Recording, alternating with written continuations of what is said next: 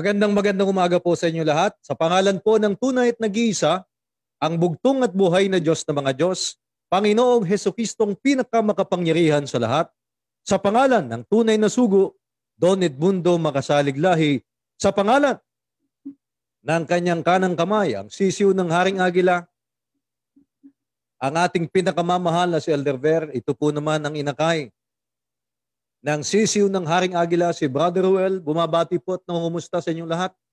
Ngayong araw na ito ng Sabat, happy Sabat po sa lahat ng ating mga kapatid na nakatutok na ngayon. Nandiyan na ba kayo? Dalawang araw na tayong walang programa. Huwebes at saka Biyernes.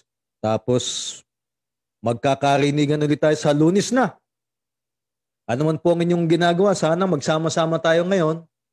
Ngayong araw na ito ng pangingilin, araw ng Sabat, na magpupuri po tayo at magpaparangal sa tunay at nag-iisa, bugtong at buhay na Diyos na mga Diyos, Panginoong Heso Kristo, na pinaka makapangyarihan sa lahat. Napakadami ng mga kaso na binabanggit na active cases ng COVID-19.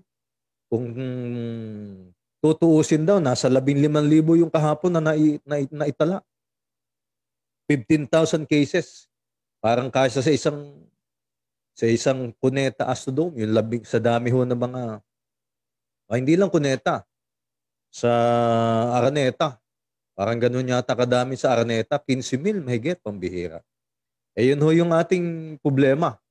Dahil nga hindi maayos yung pagpapatupad dito sa pagresponde dito ho sa COVID-19. Kaya isang taon na eh. Mahigit isang, isang taon na ganito na naman tayo. Ibalik tayo sa balik tayo sa dati at mas malala pa. Kaya nga napakadami yung mga problema ng bu- buong mundo. Bagaman sa ibang bansa, sa ibang bansa ho ay nakaka open na sila eh, nakakapag-gala na sila dahil naging maayos yung pag-respond nila sa COVID-19. Ang problema dito sa atin, bukod sa maraming matitigas ang ulo, yung ating gobyerno ay hindi hindi nakatupad ng maayos para ah, gampanan itong problema sa COVID-19. Ano to naman? Nandiyan na ba kayo? Ready na ba kayo? Ha, tayo mag-uumpisa na. Oh, wag, wag na magchismisan. Tap, tapos na chismisan. Dito na tayo, sama-sama na tayo. Narito na po, pakinggan na natin ang ating pambungan na bilang para sa araw na ito.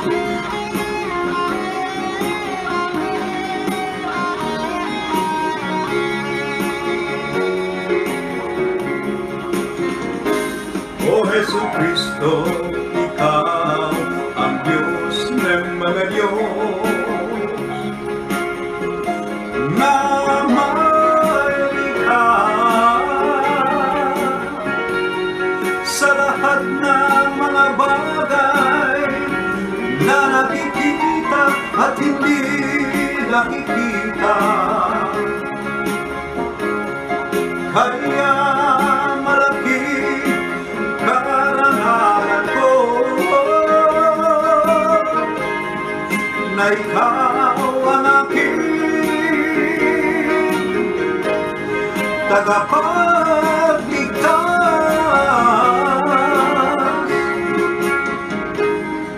Kahit saan ako, nakamtan ko ang kasiyahan ng buhay ko. Pagkat si Kristo ang aking tagapagligtas. Sa lahat kong kalungkutan, siya ang ligaya ko. Walang katapusan ang pagdakila ko sa kapangyarihan niya. O Jesu Kristo, Ikaw ang Diyos ng mga Diyos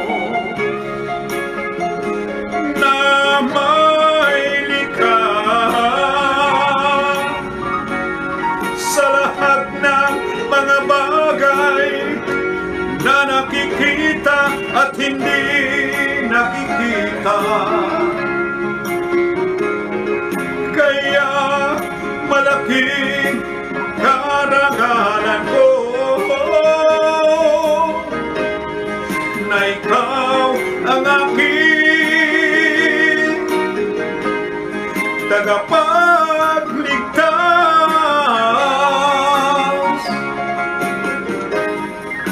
Laging naalaala ko ang kamatayan ni Jesu Kristo.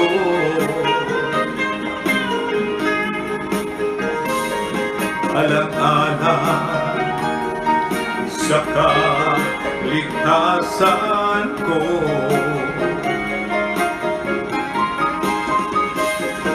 Ang puro ng mga tinig. Ang siyang tanda ng dakilang pag-ibig mo.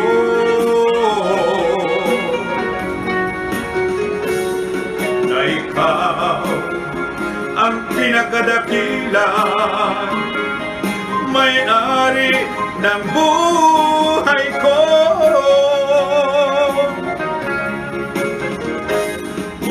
O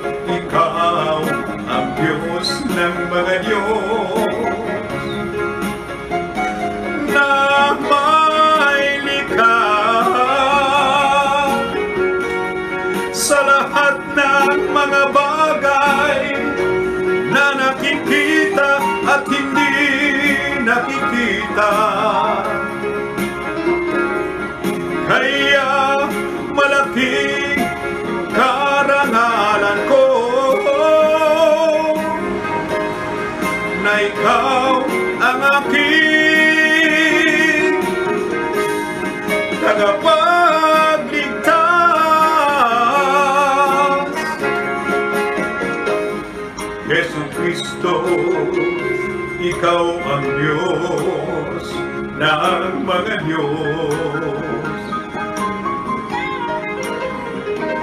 Pakinggan mo ang mga samo ko.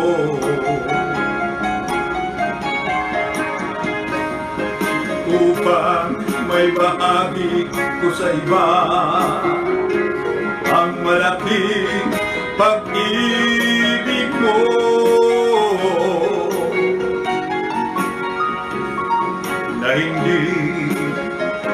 mapapantayan kahit kailan sa buhay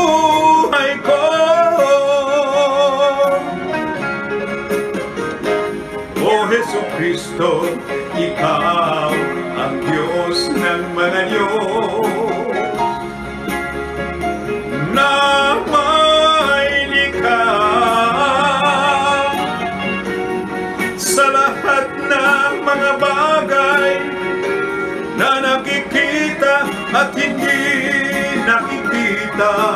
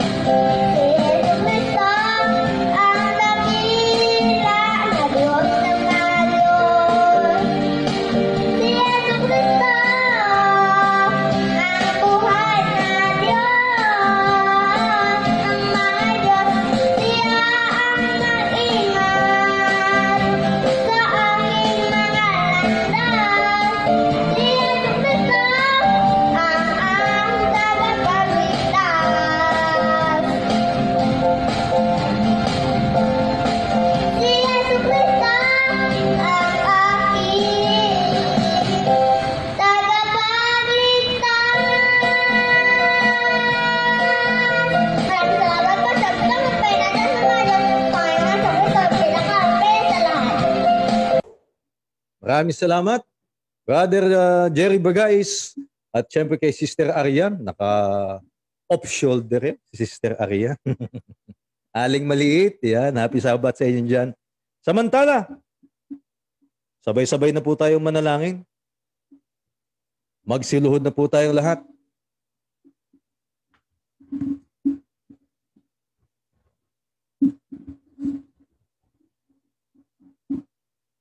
Nang pasimula, siya ang berbo. At ang berbo ay sumasa Diyos at ang berbo ay Diyos. Ang pinakamakapangyarihang Diyos ng mga Diyos, Yeso Kristo. Tasan mo yung mic. Ikaw ang ilaw ng aming mga paa at liwanag ng aming mga landas. Bugtong at buhay na Diyos ng mga Diyos. Panginoon ka ng mga Panginoon at hari ka ng mga hari. Ikaw ang lumikha ng langit at lupa at lahat ng mga bagay na nakikita at hindi nakikita, na ang langit ng mga langit ang iyong tahanan. Ikaw ang walang dungis at kapintasan at ikaw din ang nag-iisang pinakabanal at pinakasakdal.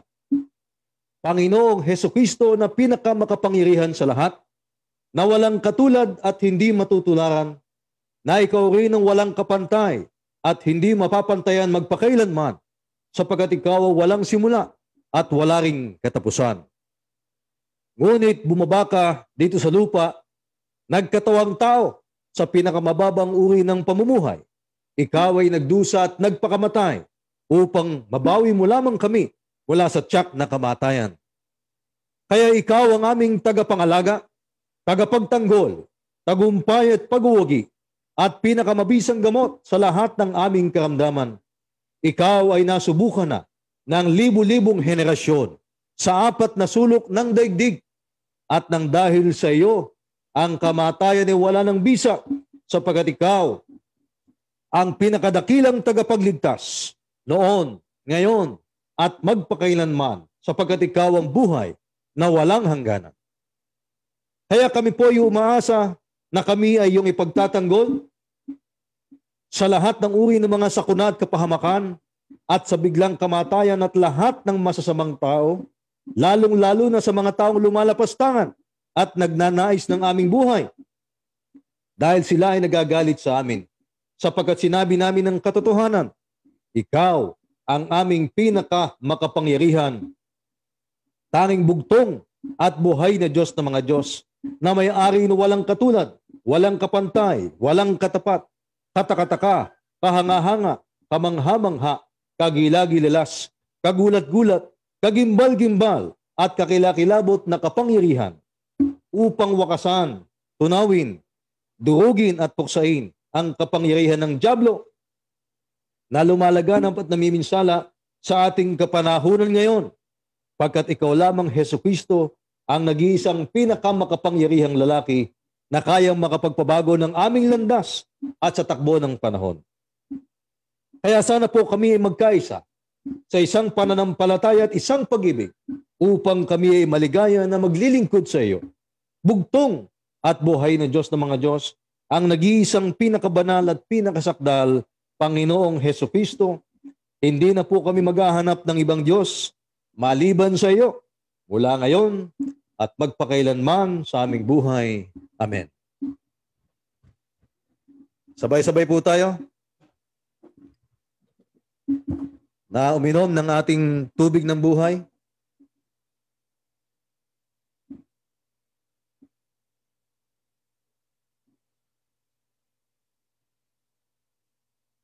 Halika ng limang beses ang ating Power ID, Power Medal.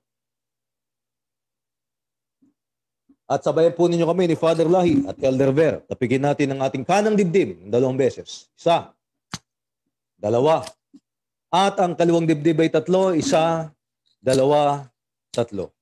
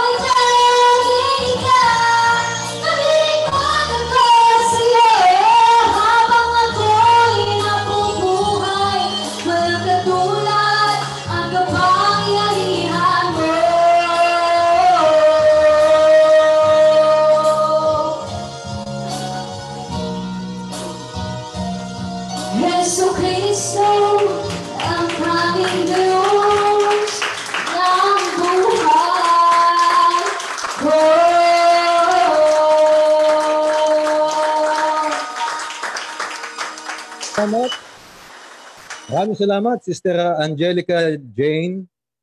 Diyan sa Arumahan na Revelation. Happy Sabbath sa inyo. Kumpleto kayo dyan. Ha? Happy Sabbath.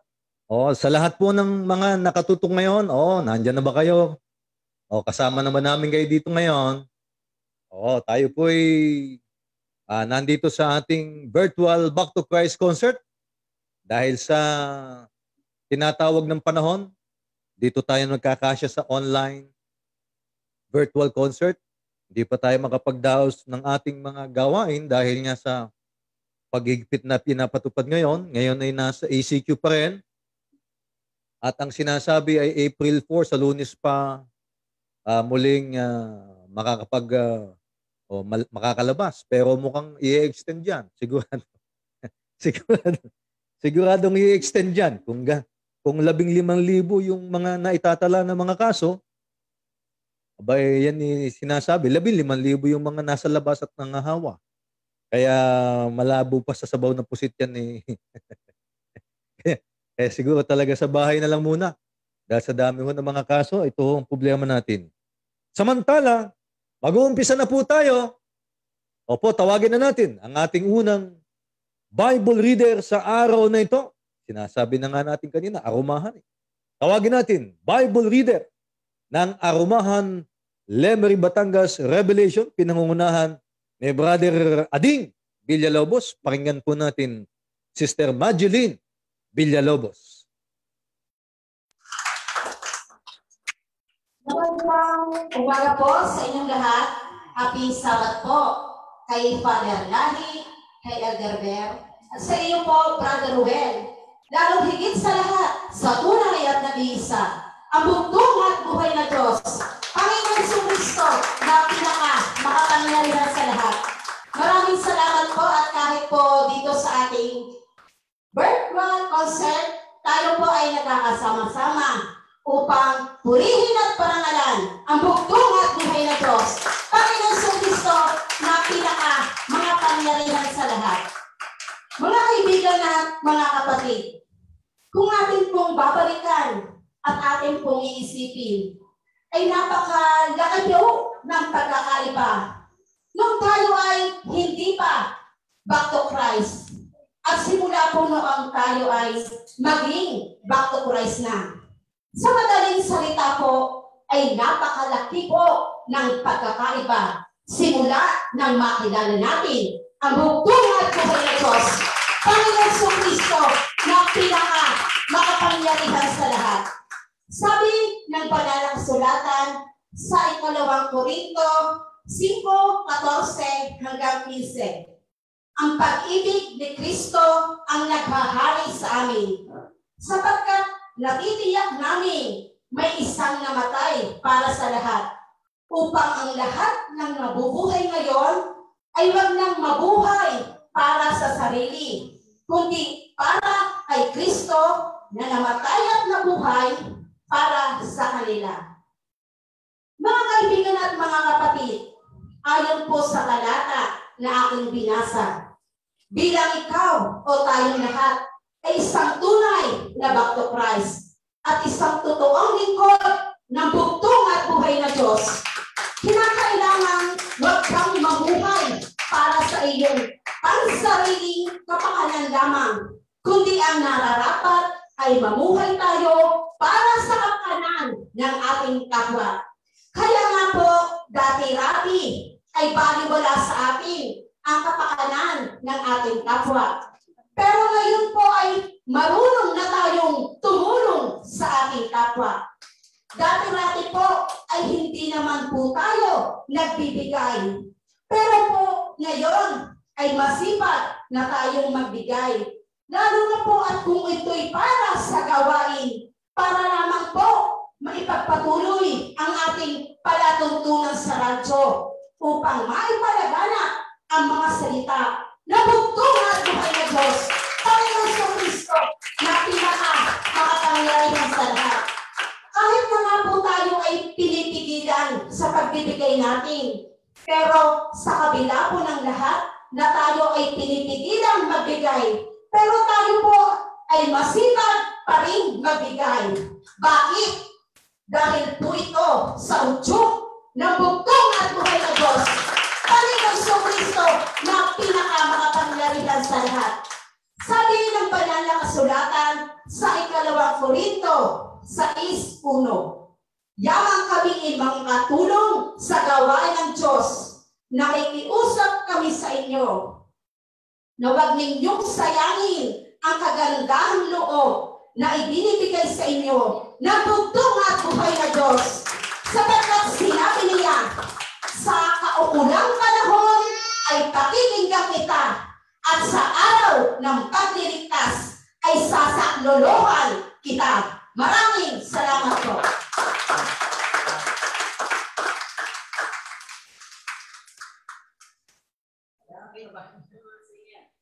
Thank you. Happy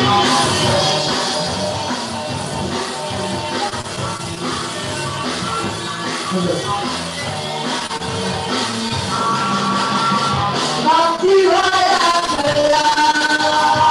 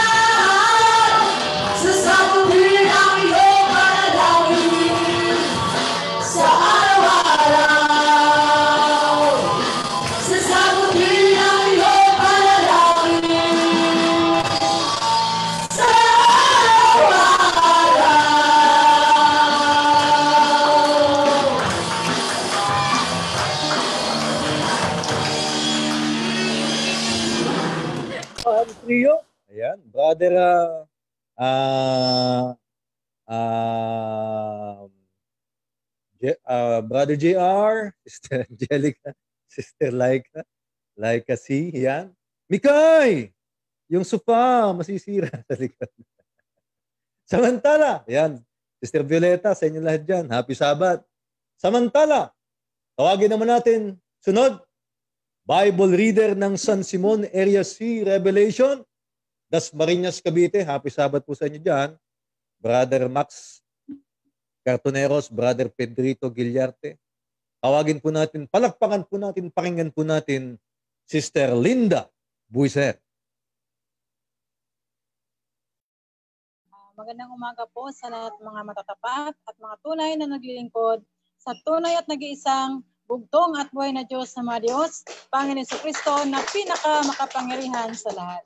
Sa pangalan ng bugtong ng sugo, Don Edmundo Makasaliglahi, sa pangalan ng sisyo ng Haring Agila na si Elder Bear, at sa inakay ng sisyo ng Haring Agila ang masipag, matapat, may paninindigan, at handang ipagsigawan ang katotohanan, ang tunay na pinili at itinalaga ng bugtong at buhay na Diyos, mga Diyos, Panginoon sa Kristo na pinakamakapangyarihan sa lahat na walang iba kung hindi si Brother Rowell.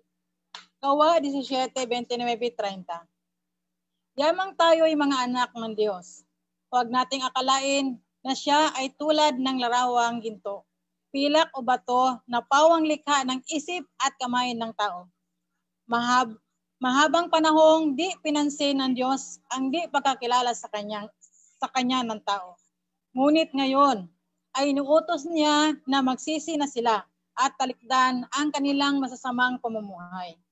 Sapagkat itinakda na niya ang araw ng paghuhukom sa sanlibutan at ito'y buong katarungan niyang gagawin sa mamamagitan ng kanyang hinirang. Ang tanong, ano bang mangyayari sa araw na paghuhukom? Lilipulin sa apoy ang lahat ng nagkasala. Isang malungkot na katotohanan ito nakakaunti na tao lamang ang nakakaalala sa malagim na magaganap sa, mun- sa mundo pagdating na wakas ng panahon. Tayo mga back to Christ ay may tungkulin sa bugtong at buhay na Diyos sa mga Diyos upang tulungan natin silang mag, magising, kalimutan ang kaligayahang bigay ng sanlibutan na alam nating pansamantala lamang upang paghandaan ang kaligayahang walang katapusan o buhay na walang hanggan. Opo, alam kong mahirap ito. Pagkat dahil dito, malamang, lalo tayong pagtawanan ng mga tao. Malamang na ang isasagot sa inyo ay ganito. Matagal ko nang narinig ang sinasabi mong iyan. Panahon pa ng aking mga ninuno, ganyan na ang sinasabi, pero namatay at namatay na sila, hindi pa rin nangyayari. Subalit, wag katakutan ang paghamak ng tao. Ang importante ay katotohanan. Dapat natin itong masabi sa kanila habang may panahon pa. Sabi ng banal na kasulatan ay napakaliwanag. Ikalawang Pedro 3.7 hanggang 12. Sa bisa ng sa- salitang ito, nanatili ang langit at lupa upang tupukin sa apoy pagdating ng araw ng paghuhukom at pagpaparusa sa mga masasama. Ngunit, huwag ninyong kalilimutan ito, mga minamahal. Sa Panginoon, ang isang araw ay isang libong taon, at ang isang libong taon sa Kanya ay isang araw lamang. Ang Panginoon ay hindi nagpapabaya sa Kanyang pangako, tulad ng inaakala ng ilan. Hindi pa rin niya tinutupad ang pangakong iyon alang-alang sa inyo. Binigyan niya ng pagkakataon ang lahat upang makapagsisi at makapagbalik loob sa Diyos. Sapagkat hindi niya nais na kayo'y mapahamak. Ngunit ang araw ng Panginoon ay darating na tulad ng isang magnanakaw. Sa araw na iyon, ang kalangitan ay biglang mapaparam na may nakakapangilabot na ugong. Matutupok ang araw, buwan at mga bituin, at ang lahat sa lupa ay malalantad. At yamang ganito ang magiging wakas ng lahat ng bagay ay italaga na ninyo sa Kanya ang inyong sarili at mabuhay ng ayon sa Kanyang kalooban. Samantalang hinihintay natin ang araw ng Panginoon. Ngayon, kung itatanong nila, mayroon bang katibayang mangyayari ang paghuhukom? Meron po. At hindi lamang ang paghuhukom ang isinisiguro ng banal na kasulatan, kundi ultimong ang kaligtasan. Hebreo 9:27-28. Kung papaanong itinakda sa mga tao na minsan lamang namatay at pagkatapos nito ay ang paghuhukom. Gayon din naman, si Kristo ay minsan inihandog bilang hain upang pawiin ang mga kasalanan ng tao. Ngunit siya ay muling darating, hindi para ihandog na muli dahil sa kasalanan, kundi para iligtas ang mga naghihintay sa Kanya. Ngayon ay meron namang nag, nagsasabi, hulinaan niya yan. Matanda na ako at pag namatay, hindi ko na malalaman yan. Mali po. Iba po yon. Pagkamatay, na mapuputol ang hininga at ang pagkatapos ay ibabaon sa lupa. Pagkamatay ng tao, ihiwalay ang kaluluwa at espiritu sa katawan. Ang katawan ay mabubulok, ang espiritu ay babalik sa Diyos, at ang kaluluwa ang magdanas ng paghukom. At mayroong dalawang lugar na pupuntahan ang ating kaluluwa. Isang buhay na walang hanggan, na walang katapusan, kasama ang Panginoong Heso Kristo sa paraiso.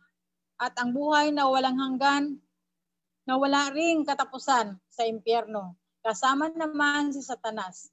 Opo, hindi po ang kamatayan ng ating katawan, panglupa. Ang kabayaran sa kasalanan. Mayroong ikalawang kamatayan. Ang kamatayang walang pagbabalik. Ito ang parusa sa kadagat-dagatang apoy. Ito ang tunay na parusa sa lahat ng nakakasala na binabaliwala ang pagsisisi at hindi lumapit at nagbalik sa tunay na tagapagligtas, sa tunay at nag-iisang bugtong at buhay na Diyos na mga Diyos, Panginoon sa Kristo na pinaka makapangyarihan sa lahat. Maraming salamat po at nagpapasalamat po ako unang-una kay Father Lahi, pangalawa kay Elder Bear at kay Brother Rewel, at lamang higit sa lahat sa tunay at nag-iisang bugtong at buhay na Diyos na mga Diyos, Panginoon sa Kristo na pinaka makapangyarihan sa lahat.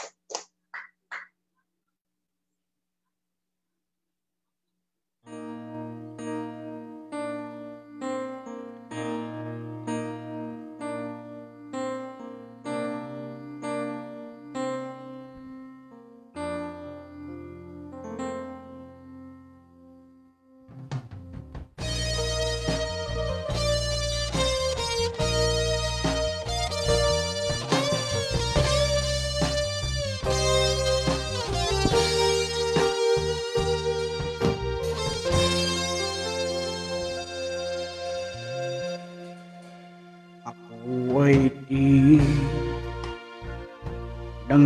nangangamba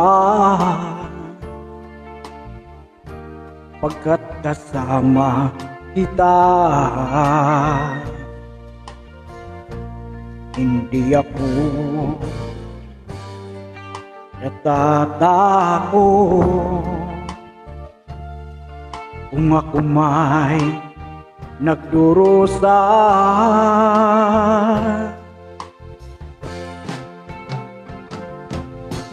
Maghirap man ako, di ko alintana Dahil ikaw ang aking Diyos.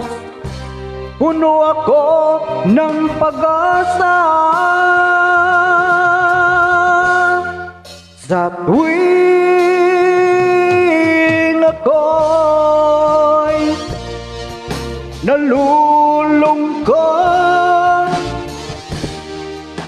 Ikaw ang ligaya.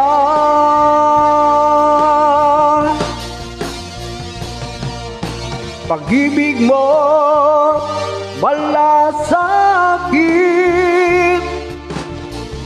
ay lagi kong nadarama.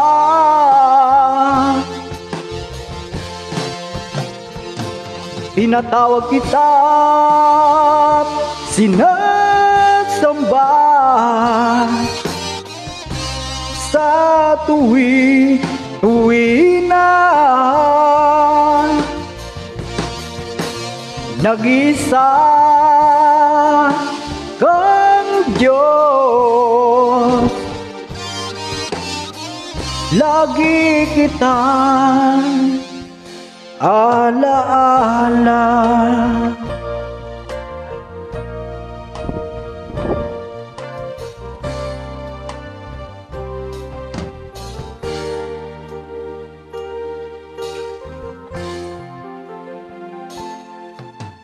Saya ang panahon na nagdaan sa buhay ko.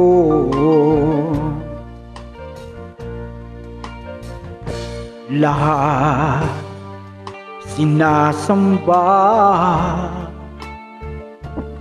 ay hindi totoo.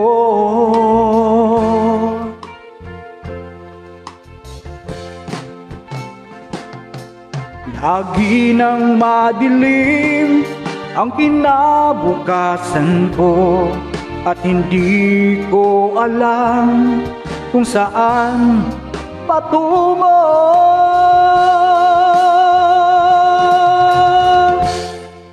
Sa tuwing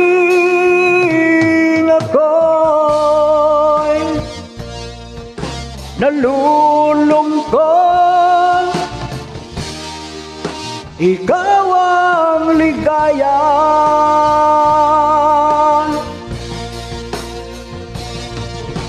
Pag-ibig mo't malasakit Ay lagi kong nadarama.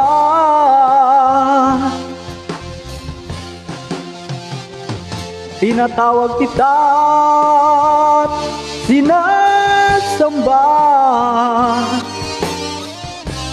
Sa tuwi, tuwi na?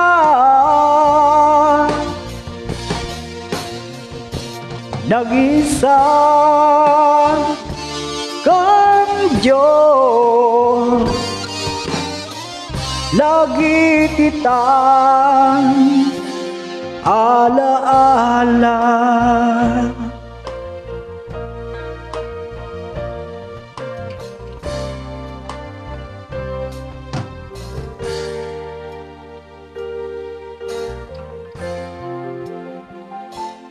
Nagbago nga ang buhay ko. Mula na makilala ka.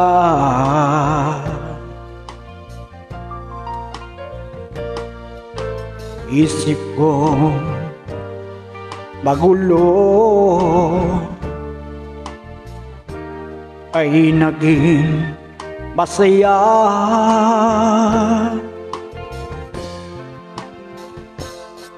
Bugtong at buhay na Diyos Ikaw na nga pala. Panginoong Heso Kristo Tunay na Diyos Noon pa mang una. Sa tuwing ako'y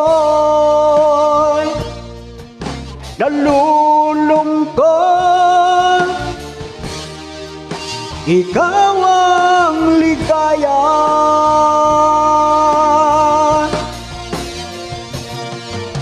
Pag-ibig mo't pala sa akin Ay lagi kong nadarama.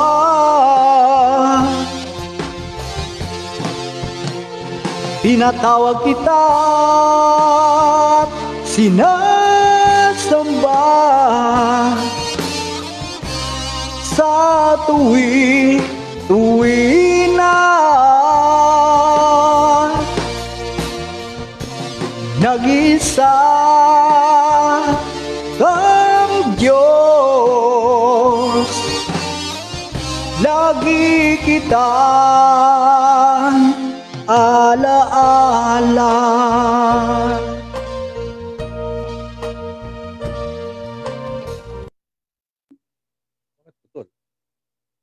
Maraming salamat, Brother Alan Kapilitan. At syempre kay Sister ah, Linda Buser dyan sa San Simon, Area C Revelation, Das Marinas, Cavite. Samantala, tawagin naman natin, Bible Reader Coordinator ng Malimpek, Malasike, Pangasinan.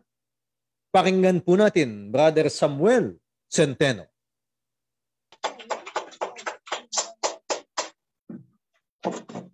Ah, magandang umaga po sa iyong lahat, mga kaibigan, mga kapatid.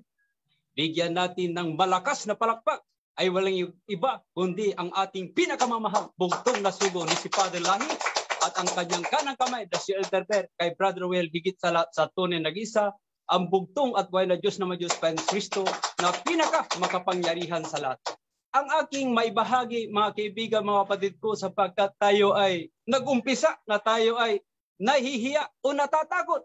Tingnan ninyo mga kaibigan, mga kapatid ko, ang kasaysayan ni Moses noon nung siya ay tinawag ng bugtong at buhay na Diyos na Diyos pa Kristo ay siya ay Huwag mo akong piliin, sabi ni Moises, mga kaibigan, mga kapatid ko. Ang kapatid ko na lamang na si Aaron ang iyong tawagin sapagkat siya ay magaling magsalita. Samantalang ako ay utal. Magsalita, wala akong alam sa Biblia. Sabi ng bugtong at buhay na Diyos na Diyos pa Kristo kay Moises, huwag kang mag-alala Moises, huwag kang matakot Moises, ikaw lamang ay gagamitin ko sa harapan ng tao. Bibig mo lamang at dila mo lamang ang aking gagamitin upang ang mga tao ay mamulat at magising sa katotohanan. Doon na nag-umpisa mga kaibigan, mga kapatid ko na ang tapang ni Moises at siya ay naghayag ng salita ng bugtong at buhay na Diyos na may Diyos pa Kristo na pinakamakapangyarihan sa lahat. Kaya kitang-kita natin ang ebidensya na namunga na ang kahirapan ni Father Lahi ni Elder Bear na kitang-kita na iniwan kay Brother Will, at tayo, mga coordinator, ikaw may ay nasa bayan, ikaw man ay nasa baryo, at ito na ang bunga. Kaya alam din natin lahat na tuwang-tuwa si Father Lahi at Silver Bear higit sa lahat ang bugtong at buhay na Diyos na Fans Kristo na pinaka makapangyarihan sa lahat. At ito pa ang isa, lahat tayo ay matatapat na mananampalataya, ngunit tayo ay sinusubok pa rin kung gaano tayo katapat. Tingnan ninyo mga kaibigan, mga kapatid ko na ang aking isalaysay sapagkat para sa ganun ay mas lalong tumibay ang mga kapatid natin sa lahat ng buong mundo. Tingnan niyo si Abraham, mga kaibigan, mga kapatid ko, dahil siya ay kalugod-lugod sa bugtong at buhay na Diyos na ba Diyos sa kanyang katapatan. Abraham, gusto mo bang kayamanan? Sabi ni Abraham, ang kinin ko man ang kayamanan na yan. Iwala naman po akong anak. Tingnan niyo yan mga kaibigan, mga kapatid ko. Ay yung pala ang gusto mo Abraham, isang anak, sige, bibigyan kita ng isang anak. Makalipas ng isang taon, mga kaibigan, mga kapatid ko, nagpuntis si Sarah, mga kaibigan, mga kapatid ko, at binigyan ng kaisa-isang anak ay walang iba kundi si Isaac. Kaya si si Abraham, mga kaibigan, mga kapatid ko, ay tuwang-tuwa. Lubos ang kanyang kaligayahan, mga kaibigan, mga kapatid.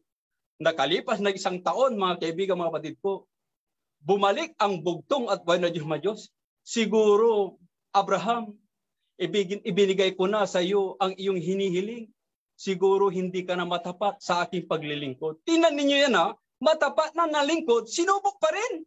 Ngayon, Abraham, ihandog mo ngayon ang iyong kaisa-isang anak na si Isaac. Ituturo ko sa iyo ang iyong paghandugan doon sa bundok ng Hore.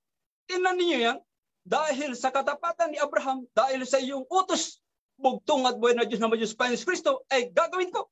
Si Abraham, mga kaibigan, mga kapatid ko, ay kumuha ng dalawang ng kanyang tauhan at sila ay pumunta doon sa bundok ng Horeb na paghandog kay Isaac.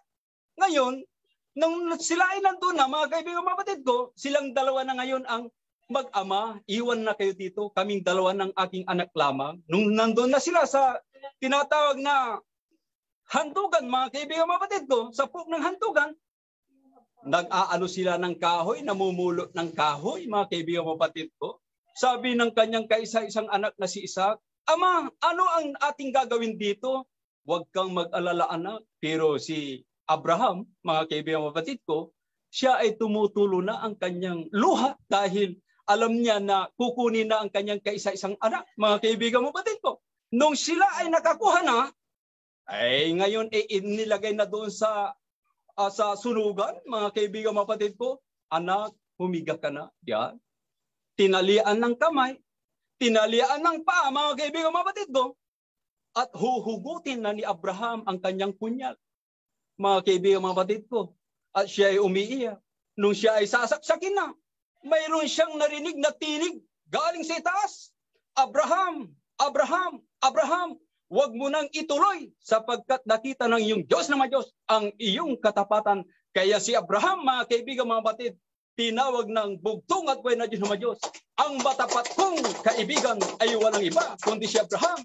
Inalay niya ang kanyang kaisa-isang anak dahil sa kanyang katapatan. Yan mga kaibigan, mga patid ko. Sabi sa Mateo 23.8, Ngunit kayo, huwag kayong patatawag na guro sapagkat iisa ang guro. Sino yan? Yung bugtong at buhay na Diyos na may Diyos pa Kristo na pinakamakapangyarihan sa lahat. Kayo ay lahat ay magkakapatid lamang. Kaya tayo mga kaibigan, mga kapatid ko, huwag tayong patawag na pastor, huwag tayong patawag na kung ano-ano, tayo lamang ay maliit na lingkod. Tingnan niyo si Father Lahi. Bakit siya ay tinawag na bugtong na sugo na si Father Lahi? Sapagkat siya ay ginamit ng bugtong at buhay na Diyos na Diyos upang tayo ay imula sa katotohanan. Bakit si Elder Bear ay tinawag na elder? dahil siya ay nakakatanda sa atin. Bakit si Brother Will ay brother? Sapagkat tayo lahat ay lingkod ng bugtong at buhay na Diyos na Diyos. Kaya maraming maraming salamat. Bugtong na sugo, Padre Lahi. Itong kahirapan ninyo ni Elder Bear ay namunga na. At pinagkalob nyo kay Brother Will at higit sa lahat sa tunay nag-isa, ang bugtong at buhay na Diyos na may Diyos pa Kristo na pinaka makapangyarihan sa lahat. Maraming salamat po.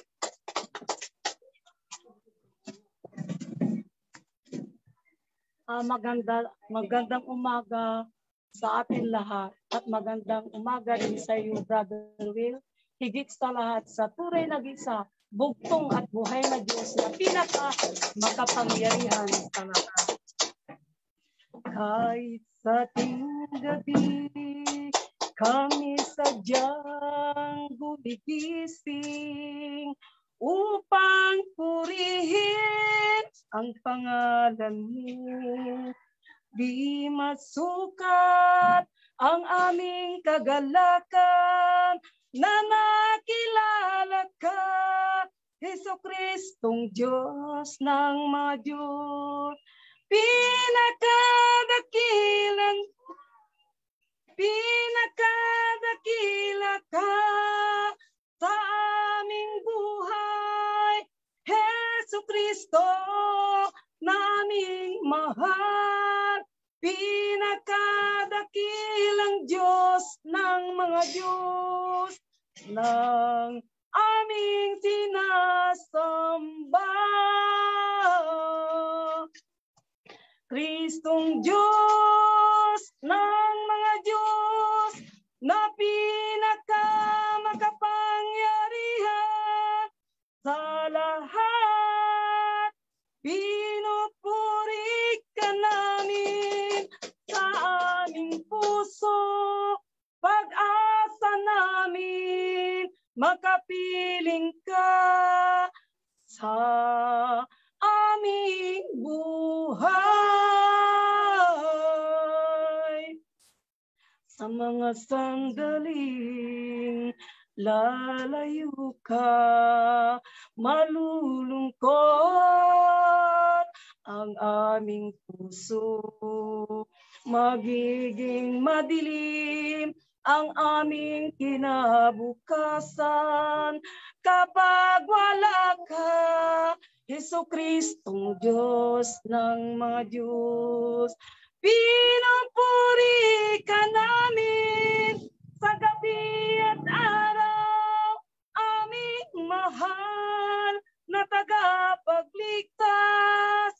Ikaw pa rin ang pinakadakilang Diyos ng mga Diyos ng aming buhay. Kristong Diyos ng mga Diyos na pinakamakapangyarihan sa lahat. Pinupuri ka namin sa aming puso, pag-asa namin makapiling ka sa aming buhay. Kahit anong kahirapan pa ang dadanasin ng aming buhay. Hindi ka namin itatagwit. Heso Kristo, pinakadakilang Diyos ng mga Diyos. Ikaw ang lumikha sa lahat ng bagay. Heso Kristong Diyos ng mga Diyos na walang katulad. Ikaw ang Diyos ng mga Diyos na may-ari ng aming buhay. Kristong Diyos ng mga Diyos na pinakamakapangyarihan sa lahat. Pinupuri ka namin sa aming puso. Pag-asa namin, magkapiling ka sa aming buhay. Pag-asa namin, makapiling ka sa buhay. Maraming salamat po. Maraming salamat, Sister uh, Belly Centeno Orpiano. Salamat, Brother uh, Samuel, sa inyong lahat dyan sa Malimpek, Malasiki, Pangasinan. Samantala, tawagin naman natin, sunod, Bible reader ng San Juan, Batangas, Revelation, pinangunahan ng kanilang masipag na coordinator, Brother Nelson Malabanan. Pakinggan po natin. Palakpakan po natin, Sister Taling Panopio.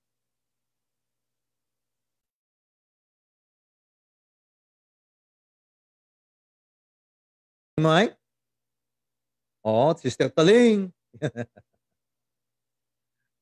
Wala akong marinig. Pakipindot yung ano, unmute.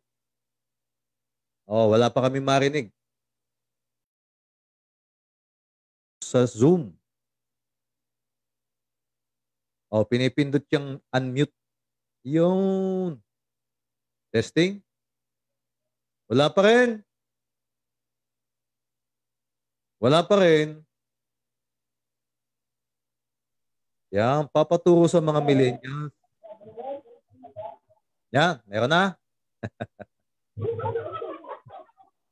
Yan. Yan, meron na.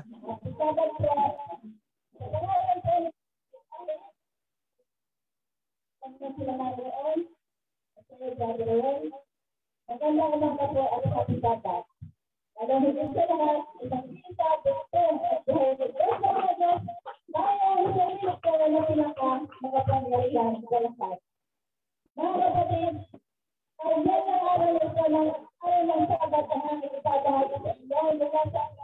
Universidad verse 54. Yan ang unang Diyos. Alam nga mga sa bilang nandang na buhay, banal at kalagin dito sa Kanya.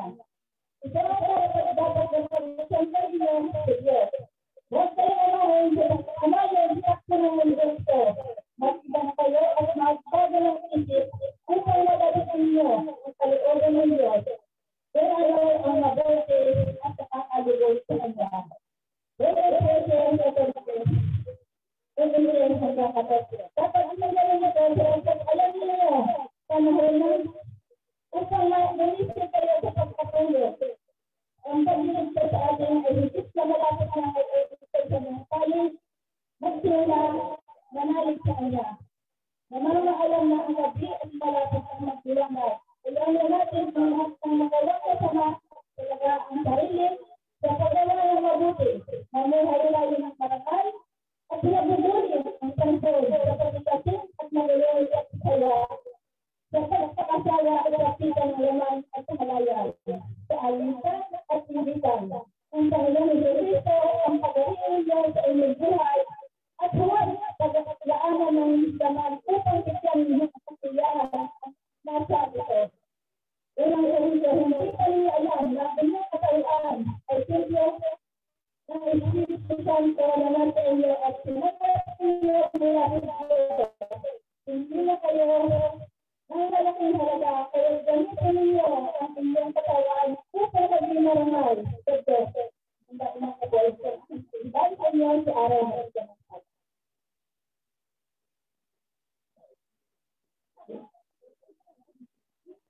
Ay nawala na. Akala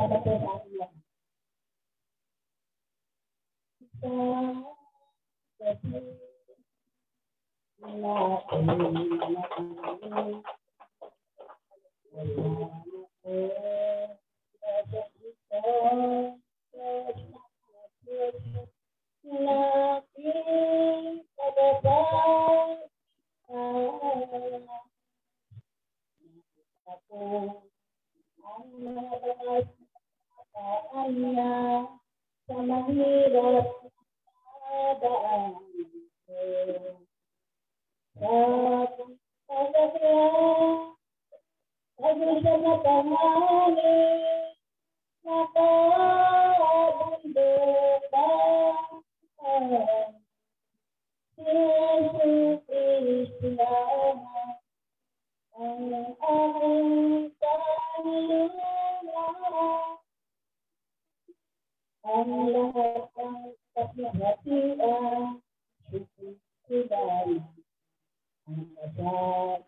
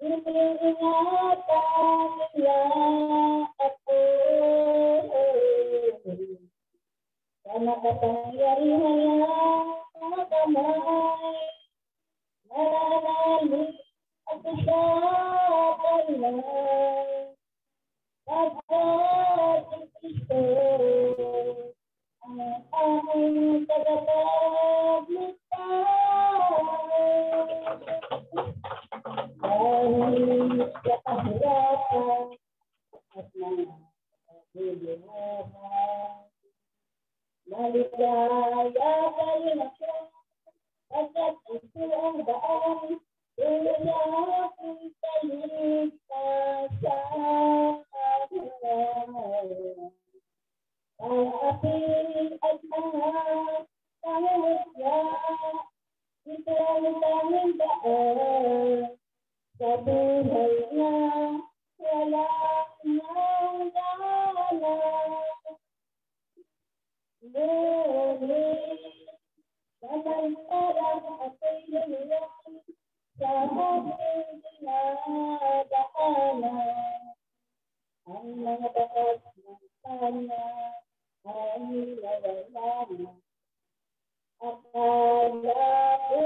si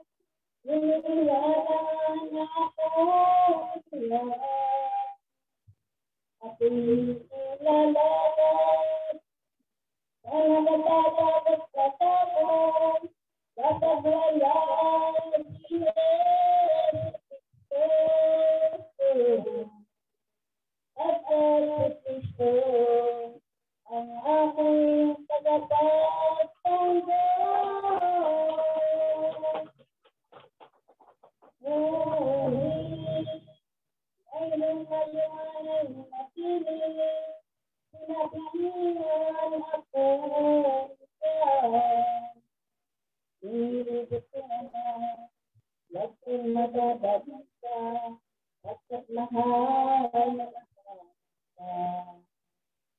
mga sandali, ang mga bakas ng mga tao ay hindi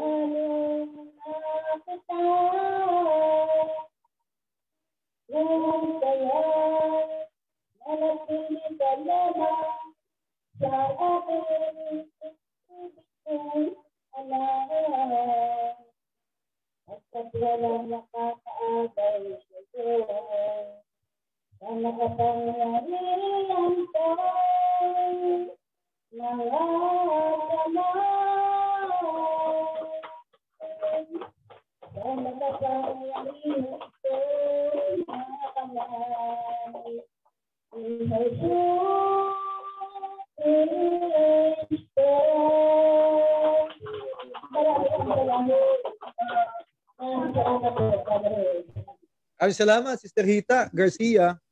Kay Sister Taling Panopio, dyan sa inyong lahat, San Juan, Batangas. Revelation.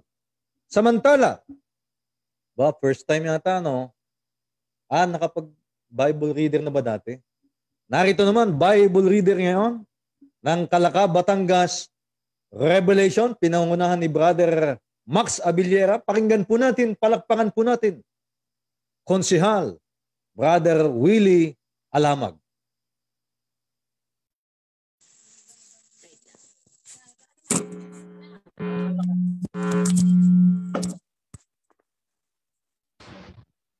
Hello po.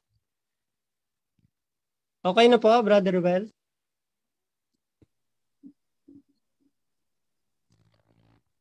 Hello po. Oh, meron na. Oh, narinig ka na namin. Thank you po. Isang mapagpalang araw po ng Sabat sa ating lahat. Una po, pagbati ng Happy Sabat. Una po kay Father Lai, kalaw po kay Elder Bear. At ganun din po sa inyo, Brother Well. Isang mapagpalang araw po ng Sabat sa ating lahat.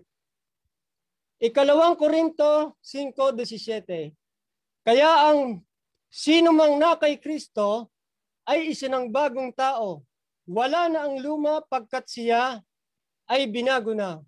Mga minamahal kong mga kaibigan at kapatid, kapag po tayo ay tinawag ng bugtong at buhay na Diyos ng mga Diyos, ay dapat po ay ipagpatuloy natin. Dahil po tayo ay napakapalad po. Dahil sa sa dinami-dami po ng uh, populasyon sa buong mundo, dito po sa Pilipinas, iilan po tayo na tinawag ng bugtong at buhay na Diyos ng mga Diyos sa kanyang kawan. Kaya po, napakapalad po natin ng bawat isa sa atin. Kaya nga po, uh, sa talatang binasa ko, ay kapag po tayo ay tinawag na, tayo po ay bagong tao na. Kaya nga po, yung mga dati po nating gawa, mga nung po tayo na sa sanlibutan, baguhin na po natin. Kung ano po, yung nasa banal na kasulatan ay siya po nating sundin. At ipagpatuloy po natin ang mga turo at aral ni Father Lai at ni Elder Bear. At sa ngayon po ay pinagpapatuloy ni Brother Well. Uh, noon pong nakikinig po ako ng programa alas 3 ng madaling araw, unang nabanggit po ni Brother Well na um, mababawasan po ng dalawang araw ang ating programa. Medyo nalungkot po ako na nasanay na po tuwing alas 3 ng madaling araw, araw-araw ay nagigising na at nag-aabang po ng programa. Meron po akong narinig, may mga nag-comment na bakit ika mawawala yung Sabado at Linggo. At saka meron po akong narinig na kaloob daw po ng bugtong at buhay na Diyos ng mga Diyos. At kung huminto daw po ng tuluyan ang programa, ay kaloob po ng bugtong at buhay na Diyos ng mga Diyos. Ang sabi ko po, hindi po lahat ng kaloob ay ating tatanggapin. Dahil hindi po tayo papayag na mahinto ng tuloy-tuluyan ang programa. Tayo po ng mga tunay at tapat na lingkod ay gagawa ng paraan upang hindi mapahinto kahit po Monday hanggang Friday lamang ang programa. Hindi po tayo papayag. Ano man po ang ating gawain sa buhay, pipilitin po natin na makapaghandog, malaki man o maliit. Ang mahalaga po ay taos po sa puso ang ating pagkakaloob. At mm, sabi ko nga po sa kanila, ay kailangan po nating magsikap. Hindi po tayo aasa sa kaloob, kundi sabi nga po ay nasa bugtong at buhay na Diyos ang awa, nasa taong gawa. Kung tayo po ay maghihintay ng awa at tayo naman ay walang ginagawa, hindi tayo kumikilos, hindi po natin magagampanan. Ang sinasabi po na hindi po tayo papayag na mahinto ang programa. Kinakailang po, meron po tayong gagawin para po tayo ay makapaghandog at magpatuloy po ang ating programa. Gawa 18, 18.9. Huwag kang matatakot, ipagpatuloy mo ang iyong pangangaral. Ano man ang mangyari, huwag kang titigil o hihinto sapagkat ako'y sumasa iyo. Yun po mga kaibigan, mga kapatid. Huwag kang hihinto ng pangangaral dahil nga po tayo ay ah Tinawag po ng bugtong na, ng bugtong at buhay na Diyos ng mga Diyos sa kanyang kawan. Tuloy-tuloy po tayo sa pangangaral. At kahit nga po uh, ordinaryong member, ang kinakailangan po ay magbasa po tayo ng Bible. Para po, kagaya po nung nangyayari ngayon, yung mga iba nating kapatid ay nalihis po ng landas, hindi po tayo makuha ng kabila. Kung tayo po araw-araw ay nakikinig ng programa, updated po tayo at sariwa po sa ating isip at puso ang tamang turo at aral na ngayon po ay pinagpapatuloy nga po ni Brother Well. Ang sabi nga po nila, wag pong kakaliwa, wag kakanan, kinakailangan po ay dire-diretso lang, tuloy-tuloy. Ganun po ang ating gawin. 100% po ang ating suporta kay Brother Well. Meron po akong uh, Iyaano sa inyo mga kapatid dahil po ito ay sa programa. Kung gaano kaliit po, di po ba isang oras lang sa isang araw ang ating programa? Uh, araw-araw isang oras, bali limang araw po yon.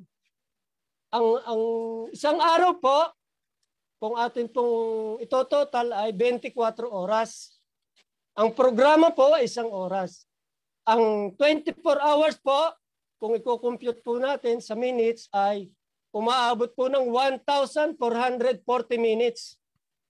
Kaya po yung isang oras ay 60 minutes lang. Napakaliit na porsyento po ng ating ibibigay para po tayo ay makapakinig ng programa. Kaya nga po, ang dapat po, araw-araw po tayo ay makinig ng programa. Napakaliit po ng porsyento na ibibigay natin para po sa bugtong at buhay na Diyos ng mga Diyos upang maipagpatuloy po natin ang tamang turo at aral ng tunay at nag-isa, ang bugtong at buhay na Diyos ng mga Diyos, Panginoong sa Kristo, ang pinaka makapangyarihan sa lahat. Maraming maraming salamat po at happy Sabbath po sa ating lahat.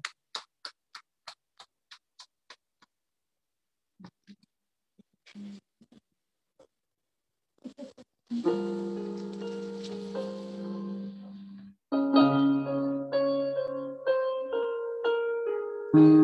Para po sa bugtong at buhay ni Diyos sa mga Diyos, Panginoon sa Kristo ang pinaka sa mga.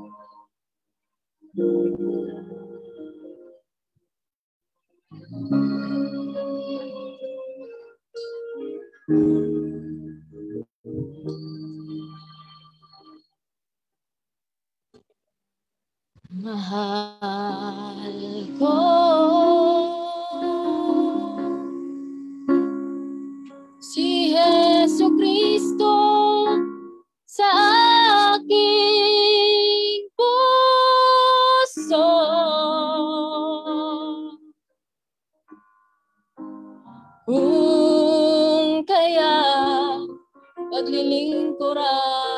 siya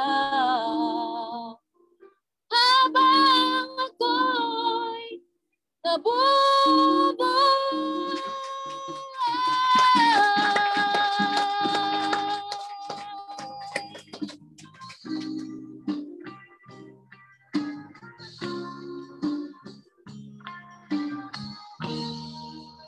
Bakit naghirap siya?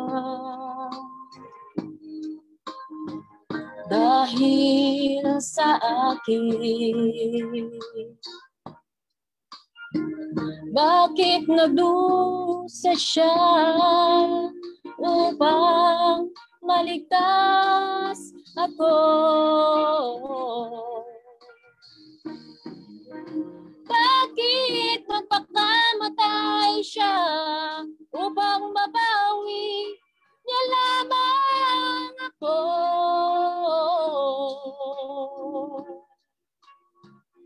Walang katulad na Diyos ng mga Diyos. Si Yesu Kristong tagapagligtas.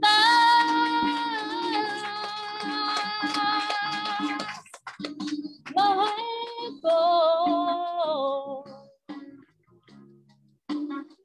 si Yesu Kristo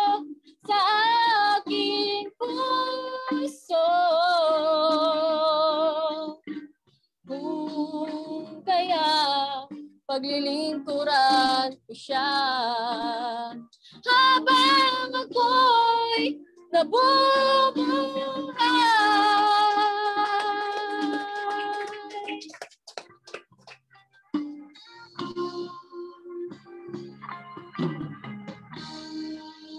Bakit natiis niya ang hampas na pahirapan siya?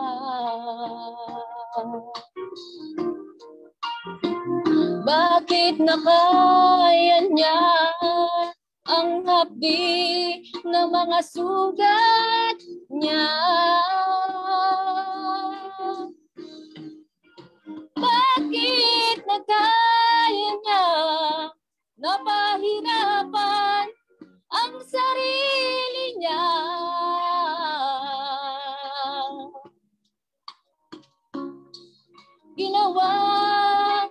lamang ito alang-alang sa kaligtasan ko.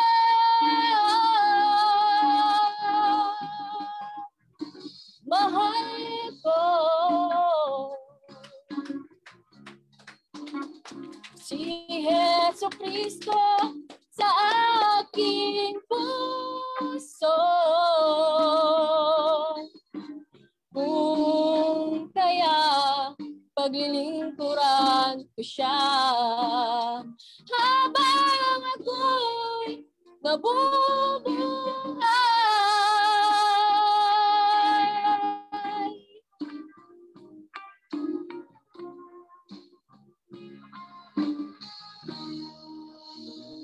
Bakit nakaya niya napasanin ang kasalanan ko? Bakit nakaya niya napatawarin ang kasalanan ko? Bakit nakaya niya naunawain ang pagkukulang ko?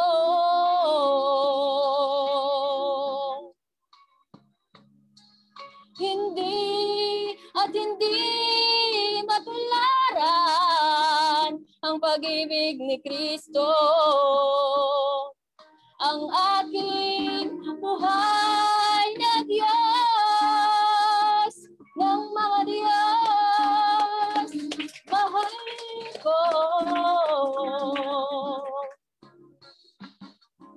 Si Yesu Kristo sa aking puso.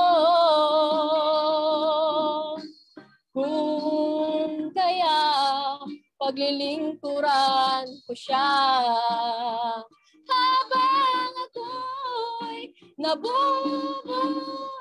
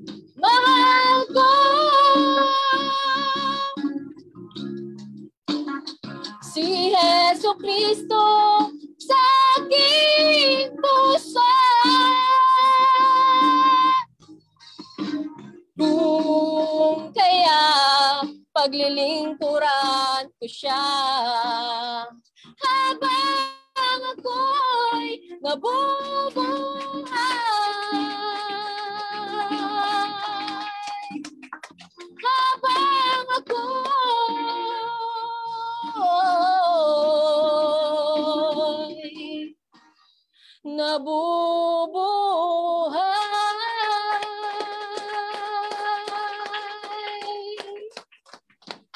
Maraming salamat.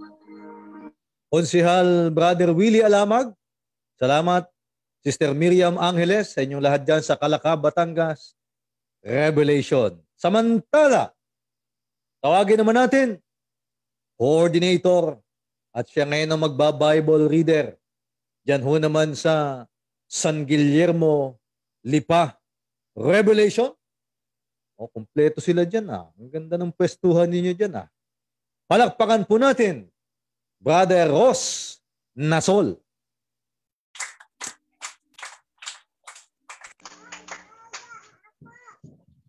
Maraming salamat po. Ah, magandang umaga po mga brother and sister and happy Sabbath sa atin lahat. At sa lahat ng mga coordinator, mga Bible reader na mga kasali dito sa virtual ay magandang magandang umaga po. At nagpapasalamat po ako kay Father Lahi na siya nagmulat sa atin sa tunay na katotohanan at sa kanang kamay niya si Elderber na nagpatuloy at ngayon na ipinagpapatuloy ni Brother Wade magandang magandang po. Sa sabi dito sa aklat ng Epeso 2.10 sapagkat tayo'y nilalang ng Diyos nilikha sa pamamagitan ni Kristo Isos upang iukol natin ang ating buhay sa paggawa ng mabuti. Iyan ang layunin pinili ng Diyos para sa atin noong una pa. Pinili tayo upang gumawa ng mabuti at ipag, ah, ipagsigawan ang tunay na katotohanan na ipinahaya, ipinakaloob sa atin ni, ni Father Lahi. At ngayon, dapat na, dapat tayo ipagpatuloy natin ang mga ginagawa sa araw ng Sabat dahil tayo ay galing doon sa kadiliman. Sa totoo lang, ang katunayan na nasa kadiliman, katulad ng mga nakaraan, araw, mahal na araw, ay noong araw ay ginagawa din natin yan. Nagpo-prosesyon sa katunayan. Yan ang sinasabing makikita ang tunay na nasa kadiliman. Nagpo-prosesyon, may dalang ilaw pero tanghaling tapat. At ako isa rin na mga ah, nakagawa niyan noong panahon na hindi pa hindi ko pa nakilala ang tunay na katotohanan at wala pa si Father Father Lahi noong araw. Kaya tayo ngayon ay nasa liwanag na. Kaya tayo ay magpatuloy dito sa ginagawa natin sa araw ng Sabat na ipagsigawan ang tunay na katotohanan. Sabi dito sa Efeso 4.22 Iwasan na ninyo ang dating pamumuhay. Hubarin na ninyo ang iyong dating pagkatao na napapahamak dahil sa, sa, sa pagnanasa, ah, dahil sa ma, masasamang pagnanasa.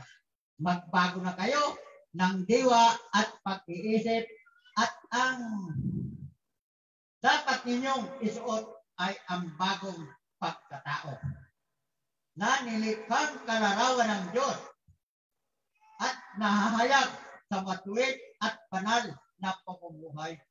ayon sa katotohanan. Kaya po, tayo, pag tayo susunod lagi sa bugtong at buhay na Diyos, anuman ang hilingin natin ay ipinagkakaloob. Anuman mga problema ay nasusunod-sunan kaagad. Dahil pag tayo nasa bugtong at buhay na Diyos, ay lagi tayong iniingatan. Lagi tayong ipapadama sa atin ang tunay na pag-ibig. Dahil kay sa bugtong at buhay na Diyos, siya ang pag-ibig. Sabi dito sa uh, Efeso pa rin, 5, 6. Huwag na kayong padaya kanino man sa pamamagitan ng mga pangangatwiran walang kabuluhan sapagkat dahil nga sa mga ito, ang Diyos ay napupuot sa mga swain.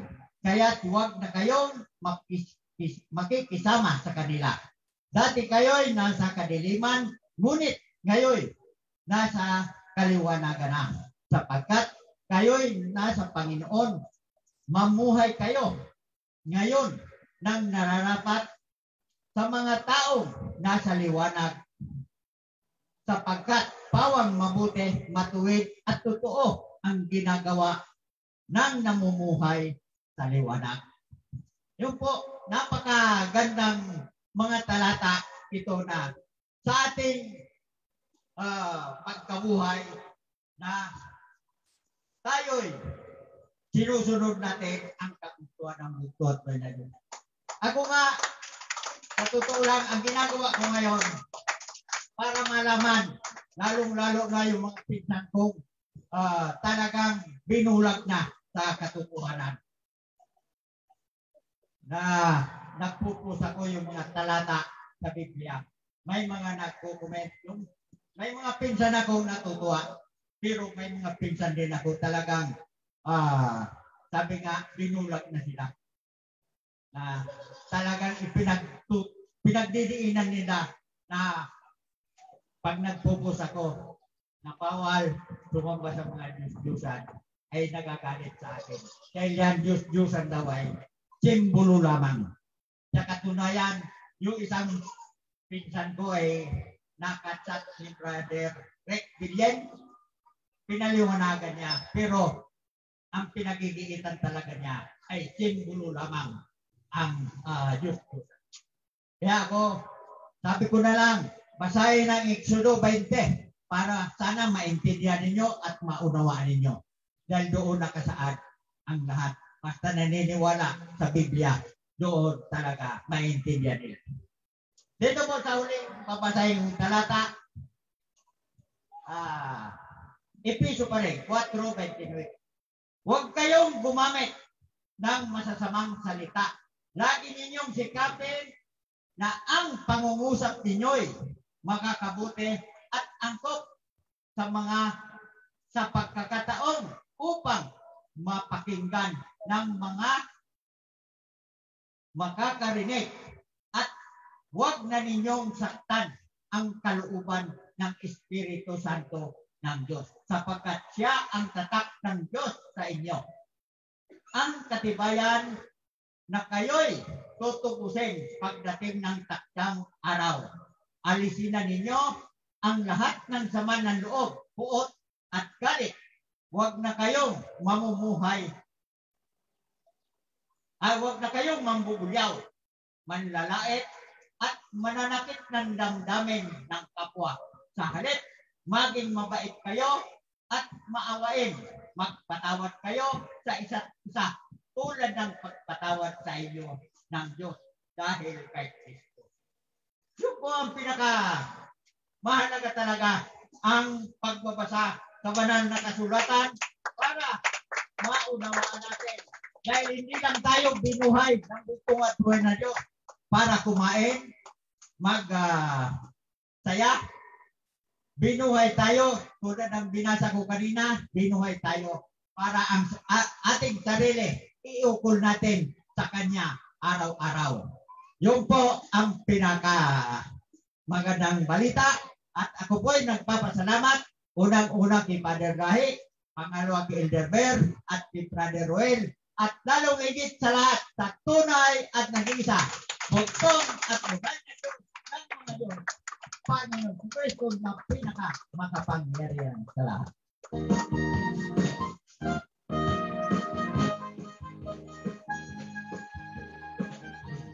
Sabat sa lahat. Sa mga ang sabat Tuloy sa trono ni Yesu Cristo, paligaya ng iba. Araw-araw, kasama natin si Yesu Cristo. Dami naman ituan niya, hindi na tayo mapapalisa. Pagkatuan ay wala kamatayan, kahit kailan. Nagkakutong hangarin na makikita ka. Pagkatilaw ang kahalan na napakaganda. Naging dating palakan sa lahat. Yesu Cristo ang Diyos ng mga Diyos na say, Doon sa trono ni Yesu Cristo, may tayo na tayo. Araw-araw, kasama natin si Yesu Cristo. Sabi sa mga pintuan niya, hindi na tayo mapabalisa. Pagkat doon.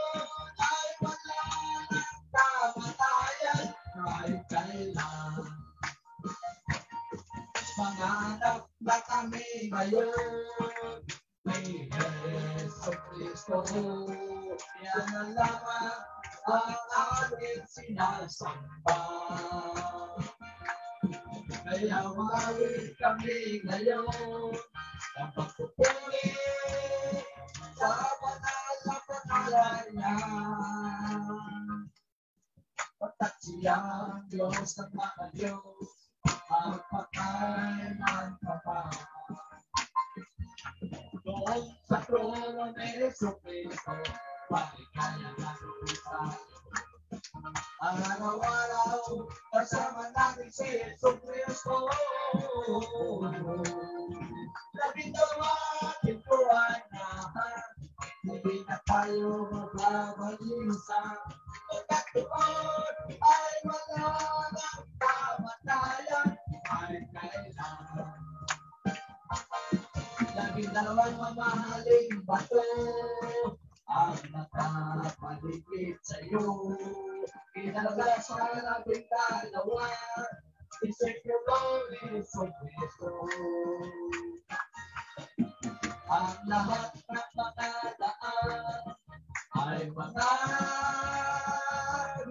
binalisay kayo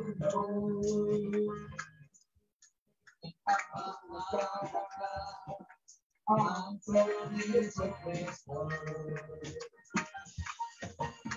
Doon sa trono ni Yesu Cristo, bakit tayo mapunta? Araw-araw, kasama natin si Yesu Cristo. Nabitawa,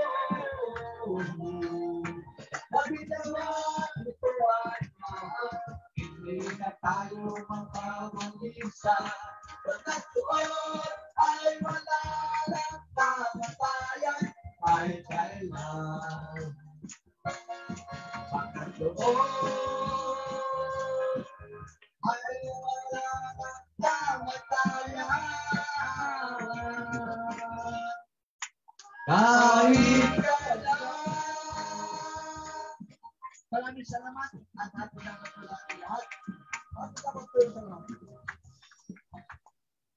Maraming salamat, Brother Polly Mosca, Brother Bobby Cabarles, duet. Talaga naman, ano, yan, sa kahit na napakainit ng panahon, talagang mainit din ang inyong pagbigay ng awitin, papuri sa bugtong at buhay ng Diyos ng mga Diyos. Samantala, tawagin naman natin, Bible reader, ng Antipolo Rizal Revelation, pinangunahan ng kanilang matapat at matapang na coordinator, Brother Daniel Paragas. Narito, pakinggan po natin ng kanilang masipag matapang na Bible reader, palakpakan po natin Sister Shoni Gutado. Sa pangalan ng tunay at nag-iisa, ang bugtong at buhay na Diyos, ang Panginoon Kristong makapangyarihan sa lahat. Sa pangalan ni Father Lahi at ni Aldelber at kay Brother Well na siyang huling makakasama natin sa paglilingkod ng tunay at nag-iisang bugtong at buhay na Diyos, Panginoon Kristong makapangyarihan sa lahat. Unang Pedro 4.7 Mabuting tagapangasiwa ng mga kaloob ng Diyos. Malapit na ang wakas ng panahon at lahat ng mga bagay. Kaya't maging mapagtimpi kayo at panatalihing malinaw ang pag-iisip. Upang kayo ay makapanalangin. Higit sa lahat, magmahalang kayo ng tapat sapagkat ang pagmamahal ay pumapawi ng napakaraming kasalanan, mga kapatid. Huwag maging mabigat sa inyong loob ang pagtanggap sa mga kapatid bilang mabubuting katiwala ng iba't ibang kaloob ng Diyos. Gamitin ninyo ang nang sa kapakinabangan ng lahat ang katangiang tinanggap ng bawat isa. Ikaw ba'y tagapangaral? Ipangaral mo ang salita ng Diyos. Ikaw ba'y tagapaglingkod? Gamitin mo ang paglilingkod, ang lakas ng loob ng kalooban sa iyo, ng Diyos ng Madiyos, upang siya ay papurihan sa lahat ng bagay sa pamamagitan ni Kristo, ang bugtong at buhay na Diyos, ang Panginoon Kristo ang makapangyarihan sa lahat. Sa Kanya ang ating kapangyarihan at karangalan. Magpakailanman, mga kapatid. Mga kapatid kong minamahal, huwag niyong pagtakhan at ituring na di pangkaraniwan ang mabibigat na pagsubok na inyong inaranas. Sa halip, magala kayo sa inyong pakikihati sa hirap ng ng bugtong at buhay na Diyos na Panginoon Kristo ang makapangyarihan sa lahat. At magiging lubos ang inyong kagalakan kapag nahayag na ang kanyang kadakilaan.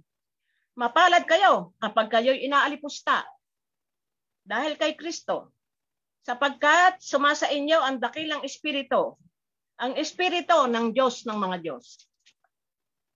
Huwag nawang mangyaring maparusahan ang sino man sa inyo bilang mamamatay tao magnanakaw, salarin o mapaghimasok sa hindi dapat panghimasukan. Ngunit huwag ikahiya ni kung siya'y maparusahan dahil sa pagiging kristyano. Bagkos, magpasalamat siya sa Diyos pagkat taglay niya ang taguring ito. Dumating na ang panahon ng paghuhukom. At ito ay magsisimula sa mahinirang ng Diyos. At kung sa atin ito magsimula, anong magiging wakas nito sa mga taong hindi sumusunod sa mabuting balita ng Diyos.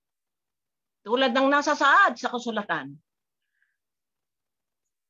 Kung ang matuwid ay halos hindi maligtas, ano kaya ang kahinatnan ng makasalanan at hindi sumusunod sa kalooban ng bugtong at buhay na Diyos na Panginoon Kristong makapangyarihan sa lahat?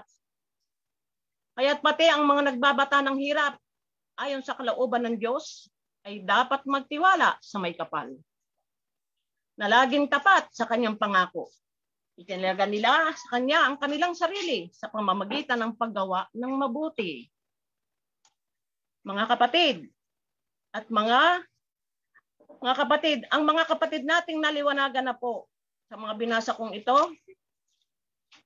na mga taong ang mga taong matuwid ay at sumusunod sa Diyos ay halos hindi hindi po makakaligtas. Paano po kaya ang mga makasalanan? Ano ang kanilang kahahantungan?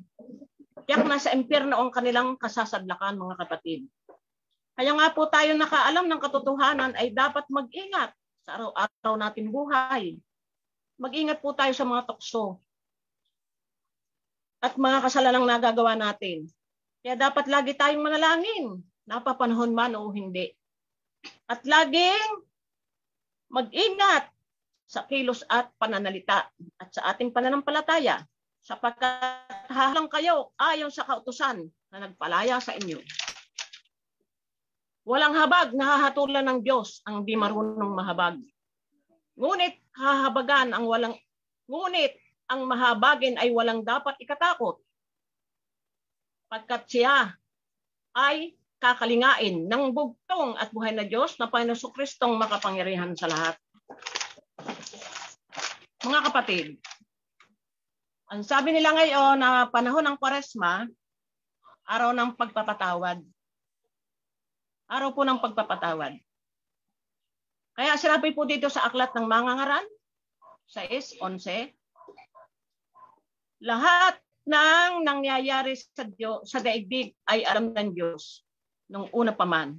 At ang mga taong di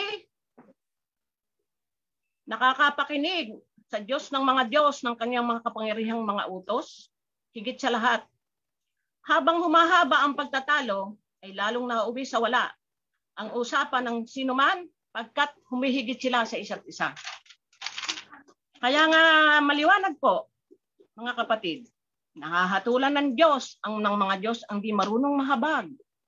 Ngunit ang marunong mahabag ay walang dapat ikatakot.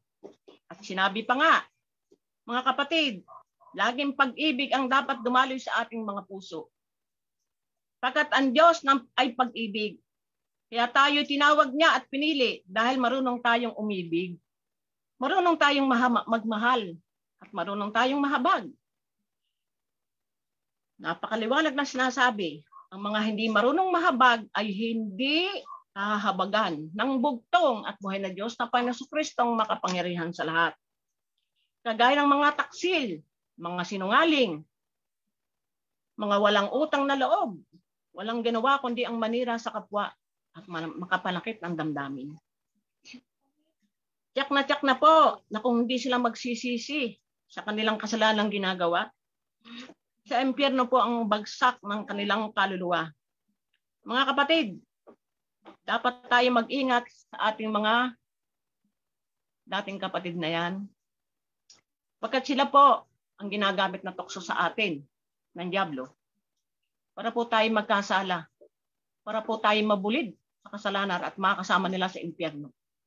Kaya po tayo magkakapatid ay magpakatatag kasama ni Brother Will. Ang mahal natin si Brother Will. Ngunit ang pag-uutos ng Diyos, ibigin mo ang iyong kaaway. Ibigin mo ang mga lumalapastangan sa iyo.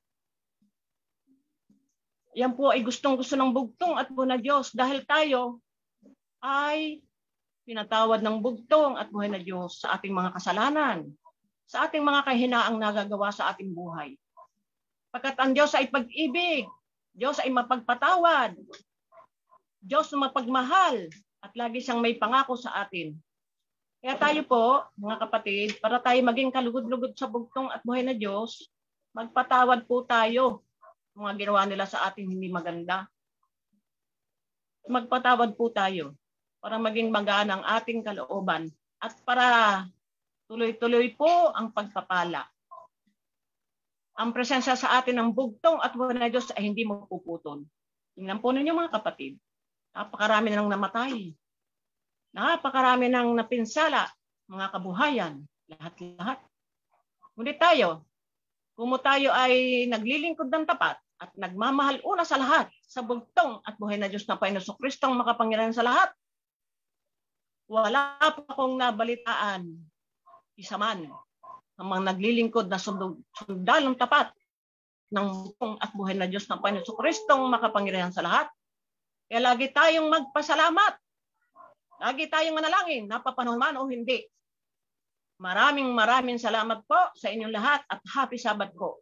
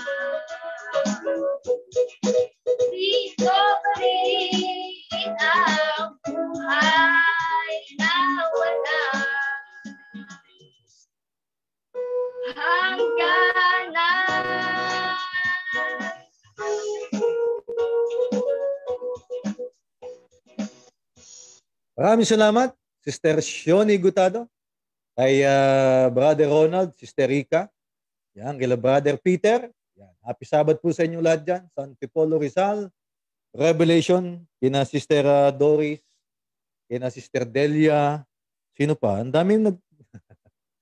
yung mga masisipag na mga taga-Antipolo.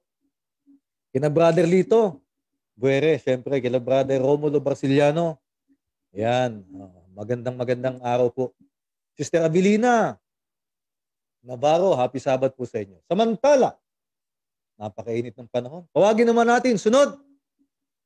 Bible reader ng Pangarap Caloocan, pinangungunahan ng kanilang masipag na coordinator, Brother Francisco Baroga.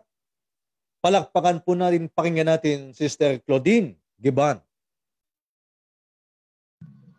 Isang mapagpalang umaga po sa ating lahat at sa tunay na sugo, Father Don Edmundo Makasaliglahi at sa kanyang kanang kamay sa Elder Ver, gayon rin po sa iyo, Brother Rowell, at sa tunay nag-iisa, bugtong at buhay na Diyos ng mga Diyos, Panginoong Heso Kristo na pinaka makapangyarihan sa lahat. Mga bunga ng pagtanggap ng Diyos sapagkat napawalang sala na tayo sa pamamagitan ng ating pananampalataya meron na tayong mapayapang relasyon sa Diyos sa pamamagitan ng ating Panginoong Heso Kristo. sa pamamagitan ng pagsampalataya kay Heso Kristo. Tinamasa natin ang kagandahang loob ng Diyos at tayo'y nagagalak dahil sa pag-asang tayo'y makakabahagi sa kanyang kaluwalhatian. Sabihin mo sa matatandang lalaki na sila'y maging mahinahon, marangal, mapagpigil sa sarili at maging matatag sa pananampalataya, pag-ibig at pagtiis. Sabihin mo sa matatandang babae na sila'y mamuhay na may kabanayan, huwag maninirang puwit, huwag maglalasing, kundi magturo sila na mabuti upang maakay nila ang mga kabataang babae na mahalin ng kanilang mga asawa at mga anak. Hindi lamang iyan, ikinagagalak din natin ang mga kahirapang ating tinitiis dahil alam nating ito'y nagbubunga ng pagtsatsaga at ang pagtsatsaga ay nagbubunga ng katatagan. At ang katatagan at ang katatagan naman ay nagbubunga ng pag-asa. At hindi binibigo ng pag-asang ito sapagkat ang pag-ibig ng Diyos ay ibinuhos na sa ating mga puso sa pamamagitan ng Espiritu Santo na ipinagkaloob sa atin ng bugtong at buhay na Diyos ng mga Diyos, Panginoong Heso Kristo na pinaka makapangyarihan sa lahat. Muli, Happy Sabbath Day po sa ating lahat. Malapit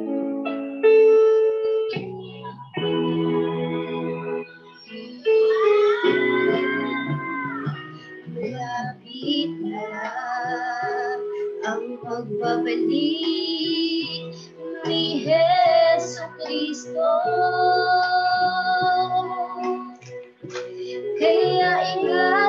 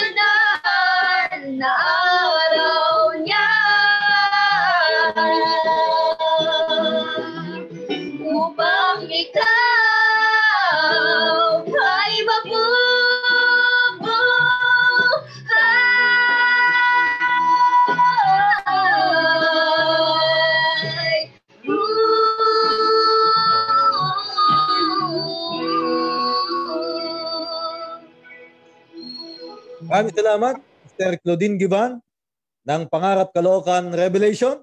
Siya na yung nag-Bible, siya rin ang kumanta. Yan, happy Sabbath po sa inyo lahat dyan, si Sister Milet at sa inyo lahat sa Pangarap, kila Brother Ray. Samantalang bago natin tawagin ang susunod na Bible reader, gusto ko lamang batiin itong mga nakatutok sa atin sa ating uh, Facebook Live, Sister Lydia Alcantara, ng Lingkod Ako ni Cristo Revelation, kina Sister Shoni Hugilyon, dyan sa New Kalamba Revelation, pinangungunahan ni Brother Rolly Kapinig, bagong coordinator nila dyan. Sister Merly Bocoy, dyan ho sa Anabu Hills, 1E Revelation. Kumusta kina Brother Leonardo Siena? Sister Lisa Ipilan, happy Sabbath po. Oh, Sister Paulina Patal Cruzat. Yan, Sister Eden Robles Shalom, happy Sabbath. Brother Orly Guerrero. Yan, happy Sabbath. Brother Paul Palmes III, nagbigay ng 200 stars. Dito sa ating FB uh, FB page, FB Live. O, 200 stars oh. Yan eh, pa- pamamaraan ho yan kung paano makapaghandog sa pamamagitan ho ng panonood na lamang nitong ating FB Live. Oh, eh, nasa 275 ito nakalagay dito na nanonood ngayon. Maraming salamat po hanggang hanggang mamaya yan, hanggang matapos. Walang bibitaw, walang aalis. Yan, alam ko naman nanananghalian na kayo ngayon. Samantalang ah, happy Sabbath din kina ah, Sister Ami Cabral, kila Brother Warley Francisco. Binabasa ko lang yun nandito. Sister Hazel Ann Mancilia ng Arumahan. Ayan. Sister Erlinda Manalo. Oh. Oh, Sister Erlinda Manalo, star sender din, nakalagay. Oh, sino pa? Oh, Sister Annelyn Gordo, taga saan kaya? Aha, Sister uh, Milet Corpin. Oh, sabi niya, silip-silip ka, Sister Jennifer. Sister Jinky Villanueva. Sister Merlina Hidalgo. Sino pa? Ayan, Sister... Uh, mm Ayan. Sister Fatima Aguila. Ayan. Sa inyong lahat na nakatutok, si Brother Vicente Barsubia. Happy Sabbath po sa inyo. Sister Jessa Almuete. Ayan. O, ito mga star senders natin. Brother Marlon Di Vera sent about two weeks ago. Nakalagay dito. Ayan. Maraming maraming salamat po. Samantala, tawagin naman natin, Bible reader ng Pila, Laguna. pinangungunahan ng kanilang masipag at matapang na coordinator, Brother Roland Ilagan. Narito, pakinggan po natin, Brother JP De Leon.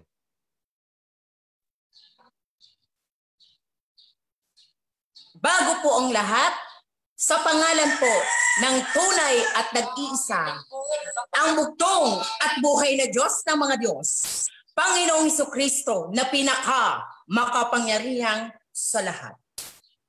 Tandaan mo, the more na nagpapakumbaba ka, the more kang itataas ng bugtong at buhay na Diyos ng mga Diyos. Sigurado yan. Mateo 23.12 ang nagpapakataas ay ibababa at ang nagpapakababa ay itataas. Ganito ang sabi ng banal na kasulatan. Walang halaga ang yaman sa araw ng kamatayan. Ngunit ang katwiran ay naglalayo sa kapahamakan. Sabi sa Kawikaan 11.4 bilang isang lingkod at mananampalataya ng bugtong at buhay na Diyos ng mga Diyos, Panginoong Heso Kristo na pinaka makapangyarihang sa lahat.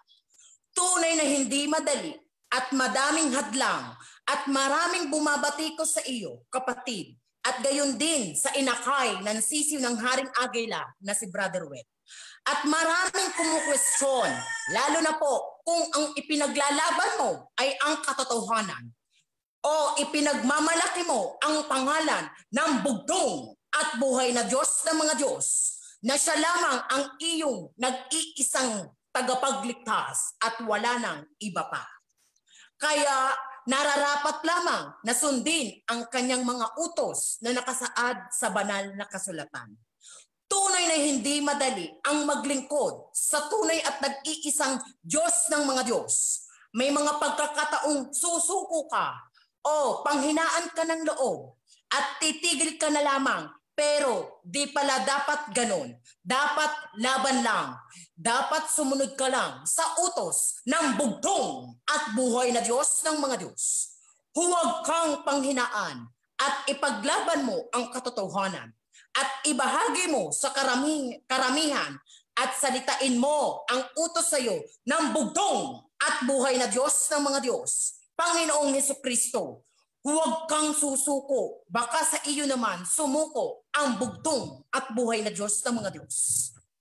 At mga kapatid ko po, tunay na lalabanan tayo, lalo na po sa mga ayaw tumanggap ng katotohanan at salita ng Diyos. Pero huwag kang matatakot dahil ang bugtong at buhay na Diyos ng mga Diyos, Panginoong Kristo na pinaka makapangyarihan sa lahat, ay lagi mo siyang kasama. Nandyan siya palagi kasama mo sa lahat ng laban mo sa buhay upang iligtas ka gaya ng pangako niya. Huwag makikipag-away sa makikitid ang utak. Dahil kahit ano pang sabihin mo dyan, hindi yan tatanggap ng pagkatalo. Sabi po sa Jeremias 1.19, at sila'y magsisilaban sa iyo, ngunit hindi sila mga nanaig laban sa iyo, sapagkat ako'y sumasa iyo, sabi ng Panginoon, upang iligtas ka.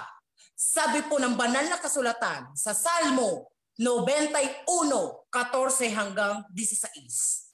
Ililigtas ko siya, sabi ng Panginoon, sapagkat kumikilala siya sa aking pangalan, tatawag siya sa akin at tutugunin ko siya Sasamahan ko siya sa gitna ng kaguluhan.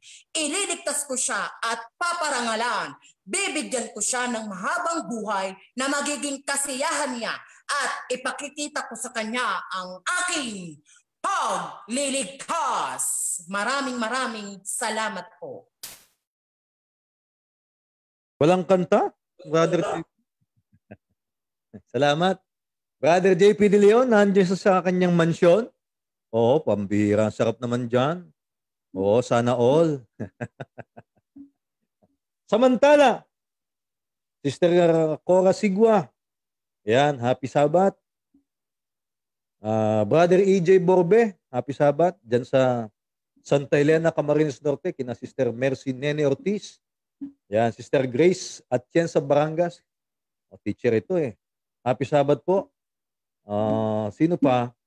Brother Warley Francisco, Brother Rolly Kapinig, nakatutok daw sila ngayon. O katatapos lang nila magdoktrina doon sa kanila sa ba- bagong Kalamba Revelation. Sister Teresita Nupente, happy Sabbath din po sa inyo. O diyan sa inyong lahat diyan sa Anabu Hills, Revelation kina Sister Imelda, Brother Leonardo Siena, ah, Sister Lori Flores. Happy Sabbath. Sister Priscilla Camacho. Happy Sabbath. Sister Annalyn Gordo, happy Sabbath. Sister Josie Ariola Estrella, happy Sabbath. Oo.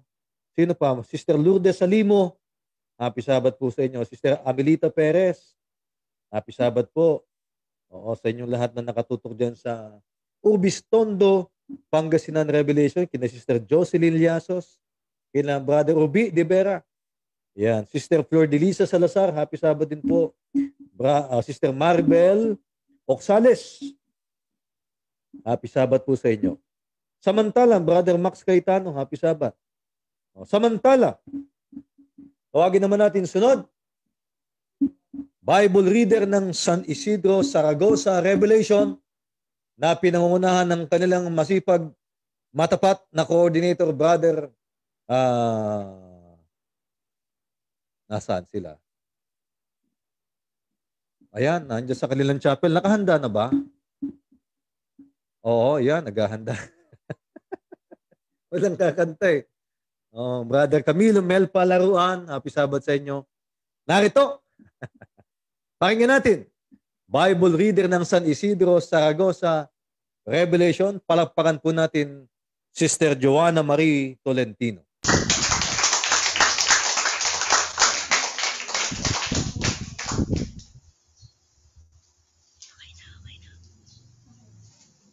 Ayan, at sa pangalan ng tunay at nag-iisa, bugtong at buhay na Diyos ng mga Diyos, Panginoon ng mga Panginoon at Hari ng mga Hari, ang may-ari. Ng walang katulad, walang kapantay, walang katapat, katakataka, kahanga-hanga, kamangha-mangha, kagilagilalas, kagulat-gulat, kagimbal-gimbal, at kakilakilabot na kapangyarihan ang pinakabanal at pinakasakdal, ang pinaka makapangyarihang lalaki na ating tagapagligtas, ang walang iba kung hindi ang bugtong at buhay na Diyos, ang Marios, Panginoong Yeso Kristo na pinaka makapangyarihan sa lahat. Happy Sabbath po sa inyong lahat. At lalong higit sa bugtong at buhay na Diyos, ang Marios, Panginoong Yeso Kristo na pinaka makapangyarihan sa lahat. Sa panahon daw po ngayon, um, dapat nating palakasin, pagtibayin, at kailangan nating magpakatapang. Palakasin po yung ating physical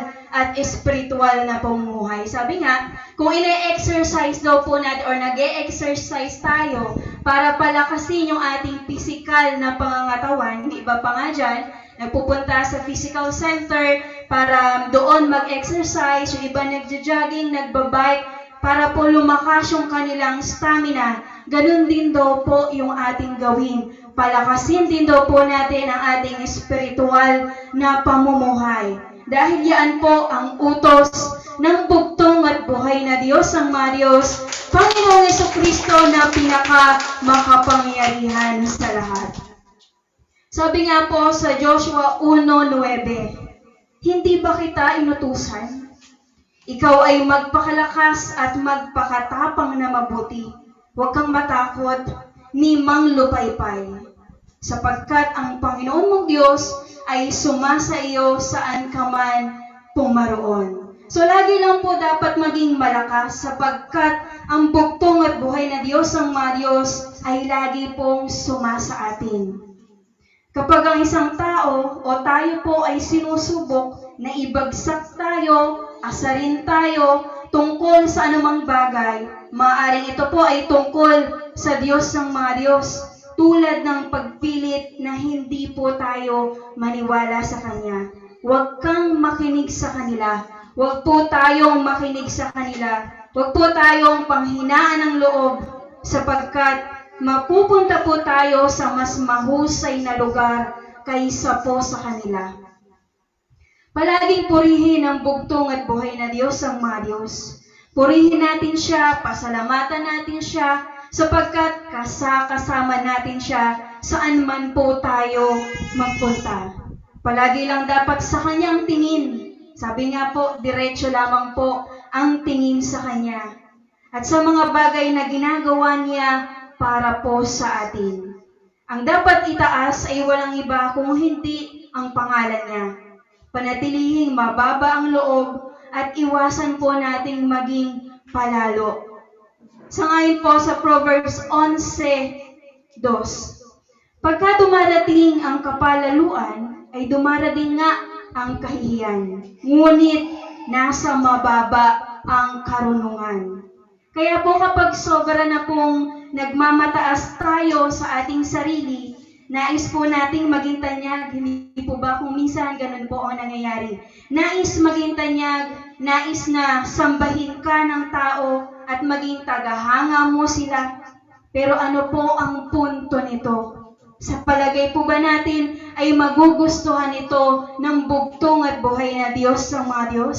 Malinaw na malinaw pong hindi sapagkat ang dapat po nating papurihan at ang papuri po ay dapat lamang mapunta sa tunay at nag-iisa, bugtong at buhay na Diyos ang mga Diyos, Panginoong Yeso Kristo na pinaka makapangyarihan sa lahat.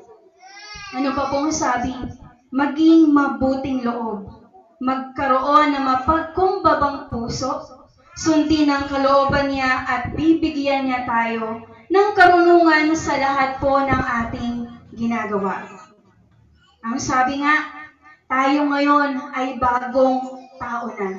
Wala na ang dating gawing hindi po magaganda. Hindi po ba? Ito po yung paulit-ulit na sinasabi po natin. Itinakwil na po natin yung pong mga pangit na ugali po natin noon. Tayo po ay mga bagong lingkod ng bugtong at buhay na Diyos ng mga Diyos, Panginoong Heso Kristo. Pangalawang Korinto 5.17 Kaya kung ang sino man ay na kay Kristo, siya'y bagong nilalang. Ang dating bagay ay nagsilipas na. Narito, sila'y pawang naging mga bago. Kapag binigay mo o binigay po natin ang ating puso sa bugtong at buhay na Diyos ng mga Diyos, tayo po ay isang bagong tao na. May bagong paraan ng pag-iisip kung paano umiikot ang mundo. Hindi po ito isang ang madaling daan, hindi po ba sinusubok nga po yung ating um, buhay sa ating pong papunta sa ating pananampalataya sa bugtong at buhay na Diyos ang mga Diyos, Panginoong Heso Kristo. Kaya sinasabi kong hindi ito magiging isang madaling daan.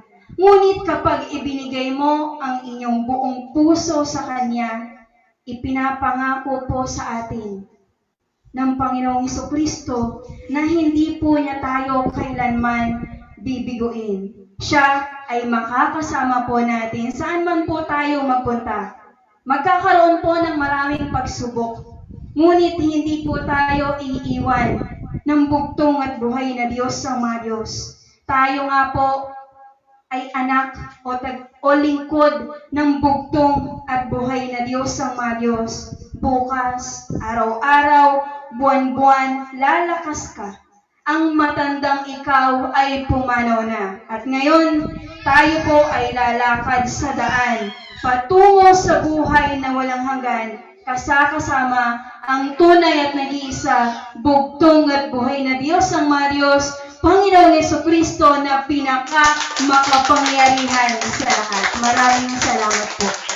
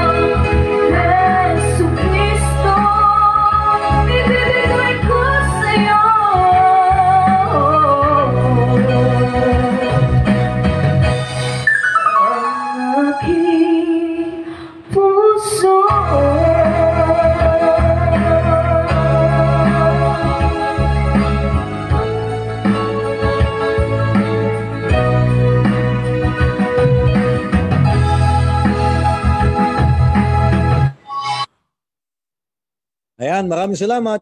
Sister Armaine Benyosa ng San Isidro Revelation, kay uh, Brother Cam- Camilo Mel Palaruan, salamat. At kay Sister Joanna Marie Tolentino. Happy, happy Sabat po sa inyo lahat. Napakainit ng panahon. Nakababad tayo dito sa bahay. Walang makalabas. Talagang apakahirap. Oh, apakahirap. Parang ano. Napakahirap nitong ating uh, pinagdadaanan na ito.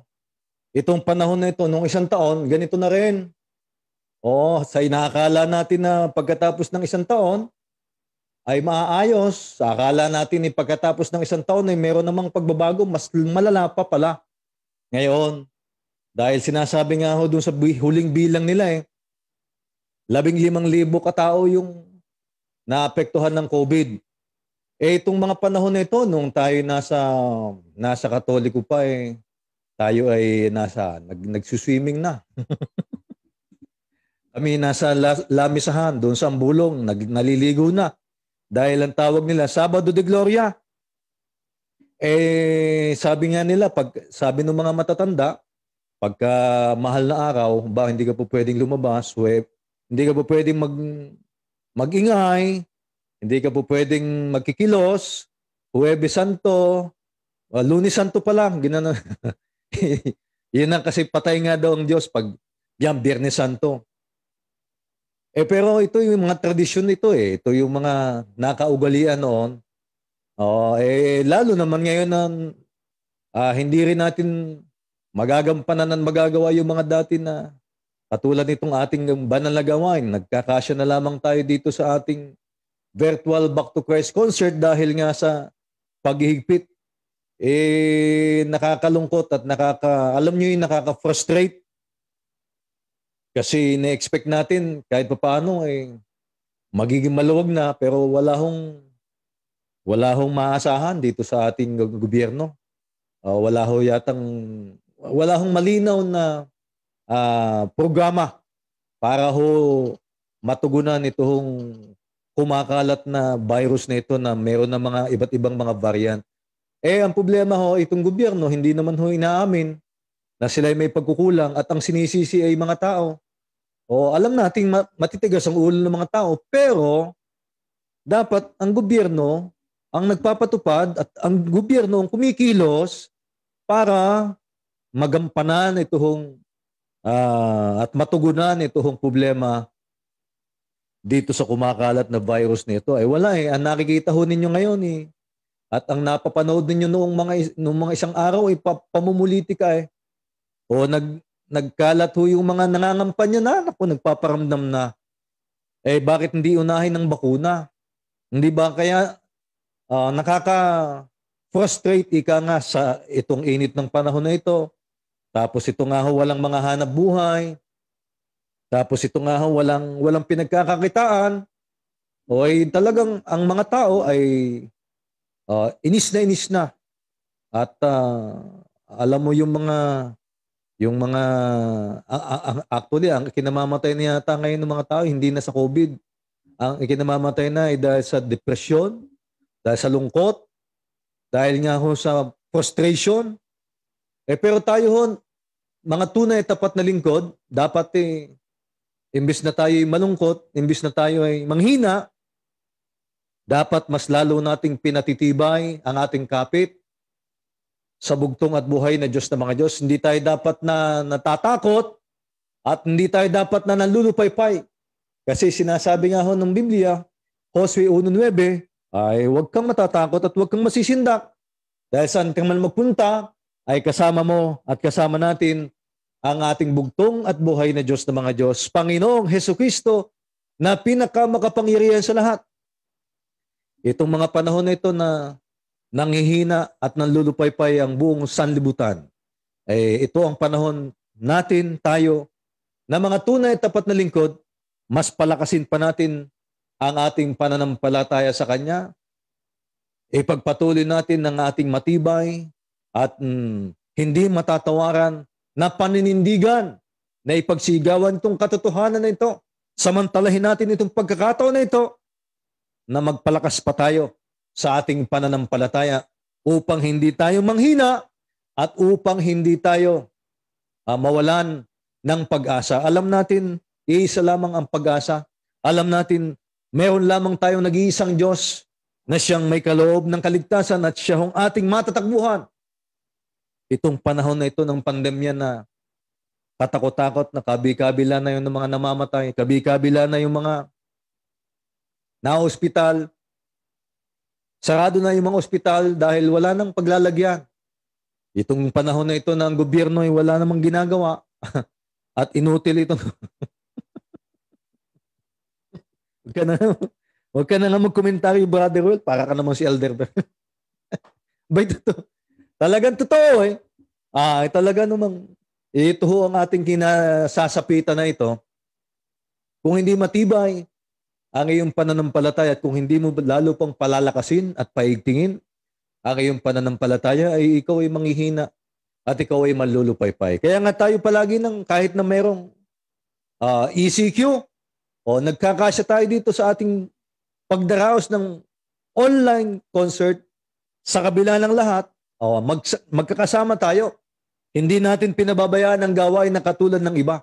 Hindi natin pinababayaan ang ating pagtitipon na katulad ng iba kasi itong panahon.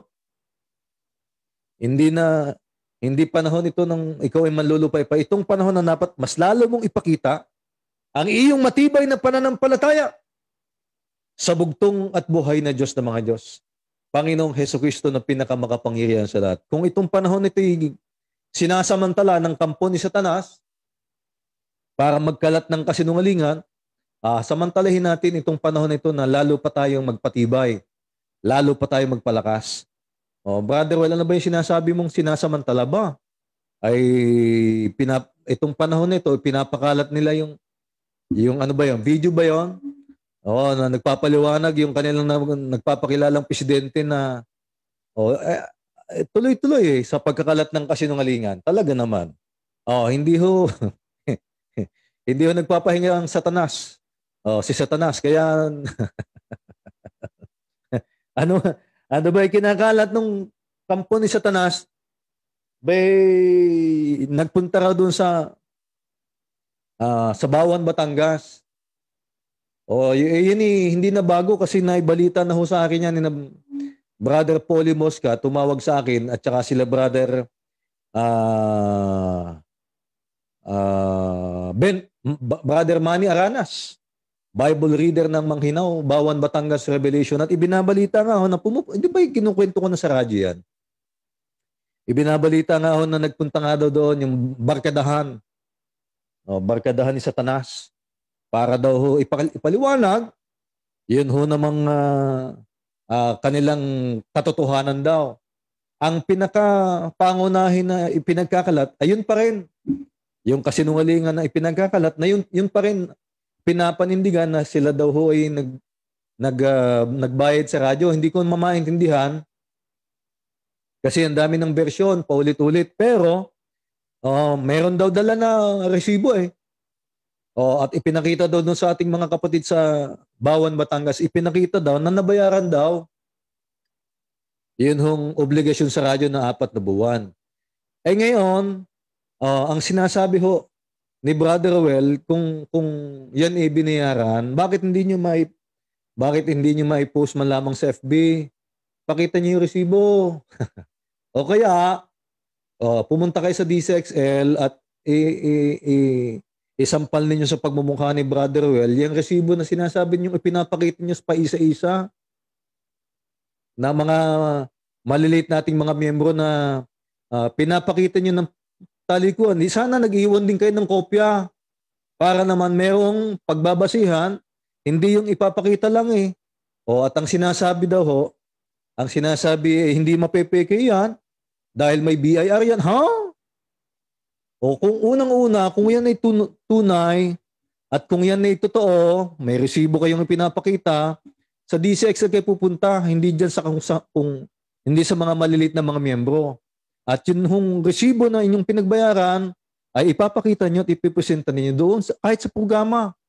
Para maipakita ko at isampal ninyo sa pagmumukha ni Brother Roel kung talagang yan ito tunay at totoo ay di tatanggapin ko di binayaran nga. Abay dapat naman bayaran talaga. Dahil yan ho'y obligasyon natin sa sa himpilan at yan naman hindi ninyo pananalapi, o ay may pambayad eh, hindi nga binayaran. Ay nagpapalo po ako sa station manager ng DCXL at saka doon ho sa kahera para lamang sa inyong kabatiran. Itong mga nagkakalat ng kasinungalingan na ito ay huling usap kasi nagtatanong-tanong din ako baka mamaya nga ibinayaran eh. Ay nagtatanong-tanong din ako eh. Ang huling usap namin eh, nung February, February nung isang buwan lang yata, yung kahera naman ng kausap ko, nagtatanong ako kung nakapagbayad ba. Eh, wala, hindi nga daw nagpaparamdam. Eh ngayon, eh, tanong eh, bakit, ah, bakit sasabihin may resibo ba? Hindi ko ho alam. At magtataka po ba naman kayo? Ganyan ang ginagawa ng mga budol-budol. Di ba? Ganyan ang ginagawa ng mga budol-budol. Papakitaan kayo ng isang isang isang ano, isang bayong na pera ay ako lamang ay ano, uh, yung budol-budol, yung mga swindler, ganyan ang papakitaan ng resibo para sabihin na ito binayaran namin. O ay samantalang kung talagang binayaran mo, hindi ka pupunta doon sa malilit na miyembro, pupunta ka doon sa DCXL, pupunta ka doon sa management para pagsabihan ako, kung totoong binayaran nga ninyo, pagsabihan si Brother Oy, binayaran no, Brother Roel. Kaya tumigil ka na ng pagsasalita. Hindi, eh, hindi naman ganun eh.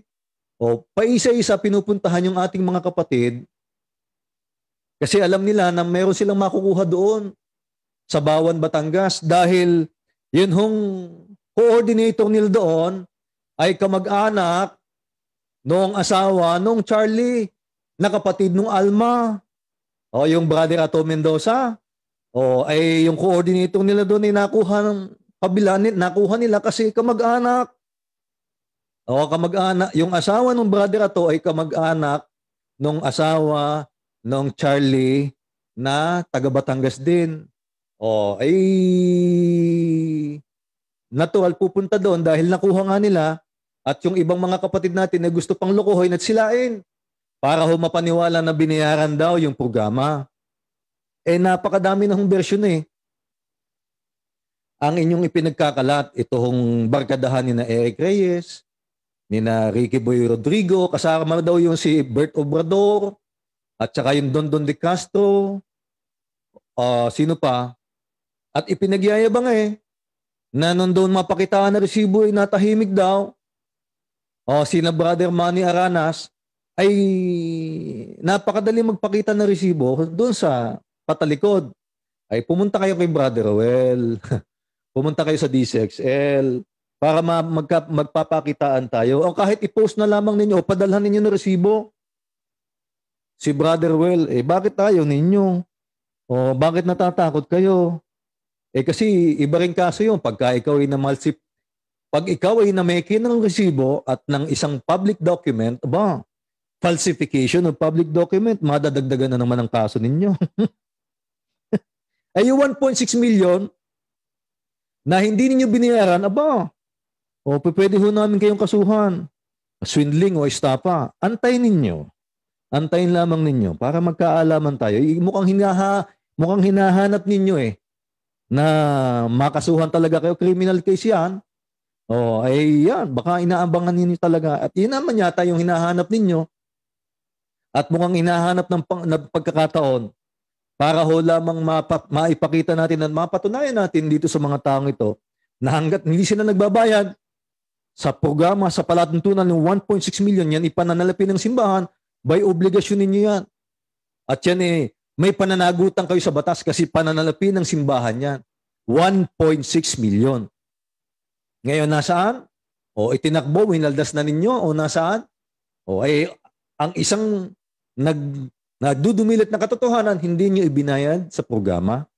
At dahil hindi niyo ibinayad, o pananagutan niyo yung 1.6 million sa simbahan at sa mga miyembro dahil hindi ho yun pananalapi yan, ay pananalapi ng simbahan, gagamitin dapat sa obligasyon, sa, sa radyo, sa ating pangunahing gawain, sa radyo, at hindi ho para gamit ninyong personal.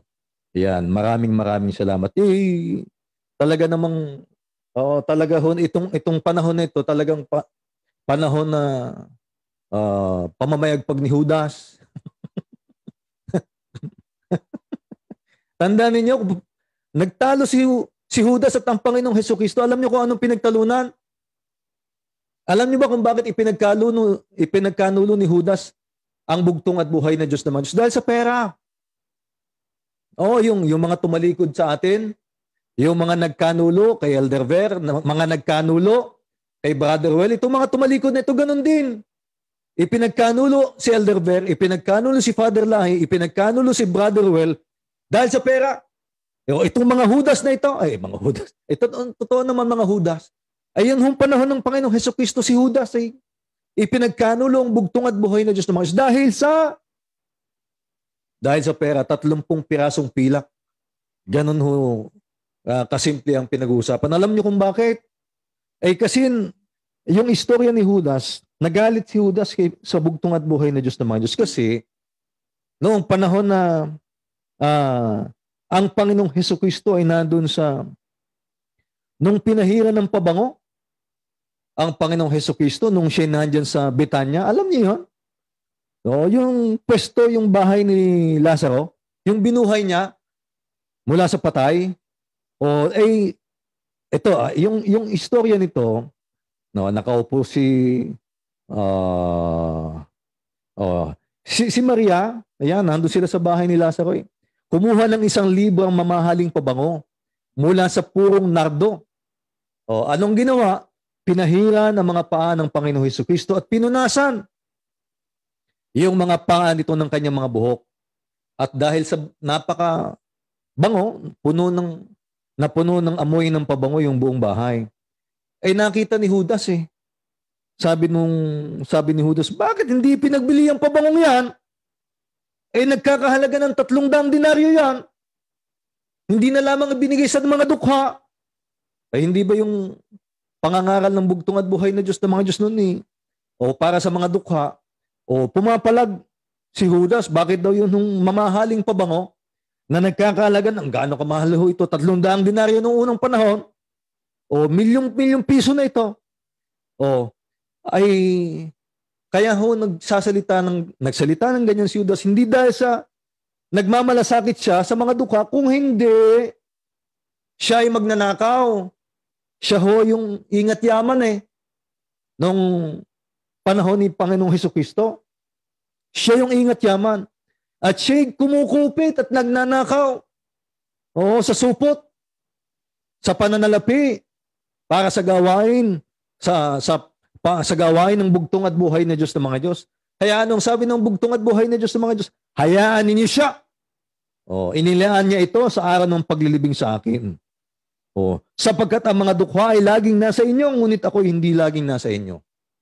Ay diyan ho nagumpisa yung istorya kung bakit ipinagkanulo ni Judas. Ito hong ating nag-iisang Diyos, ang bugtong at buhay na Diyos ng mga Diyos. Eh, ganyan, ganyan din ang nangyayari at paulit-ulit na mangyayari. At yan din ang nangyari sa atin. Itong kapanahonan na ito. Ipinagkanulo si Father Lai, si Elder Ver, at ipinagkanulo si Brother Well dahil sa kanilang pangungupit, dahil sa kanilang pagnanakaw, dahil sa kanilang kasakiman, katakawan sa pera. O ay meron, meron pa nga dyan na uh, coordinator dyan sa Bulacan eh. Kau- Kausap ko eh, akala, akala ko matino, Nung nag-uumpisa yung problema, eh, tinawagan ko dahil akala ko'y maayos. Bay, nung dulo na ng usapan eh, para nanunumbat pa kay Brother Will eh, at ang sinasabi, so ang problema nga, kaya kayo nag-away, pera. Bay, sabi ko, oo nga eh, brother. O, para may patago sa akin, kung sumbatan ako, para ako pa ang may problema. Ayun, nakuha nila, kaya pala. O, eh, Pera ang pinag-uusapan, talagang pera ang problema. Kasi pera ho ang ninanakaw nitong mga hudas na ito at itong mga nagkanulo na ito. O, mga tumalikod sa gawain dahil sa pera. O, ay ano pa ba ang katotohanan na uh, meron pa bang ibang katotohanan na masasabi ho natin? O, ay kaya yun, yung mga taga-Pandibulacan naligaw. Eh kasi nga ho eh, o, mahina ang pananampalataya, mahina ang pagkilala sa bugtong at buhay na Diyos ng mga Diyos. O, eh, pag mahinang pananampalataya, o, ibig sabihin talagang eh, makukuha ka at masisila ka ng mga barkadahan ni Satanas. O, nandito ka na sa katotohanan dahil mahina ang pananampalataya mo, inuunan mo yung pakinabang, katulad dun sa alabang, yung coordinator na inuna ang pakinabang, negosyante, o ay talaga hong mapapahamak.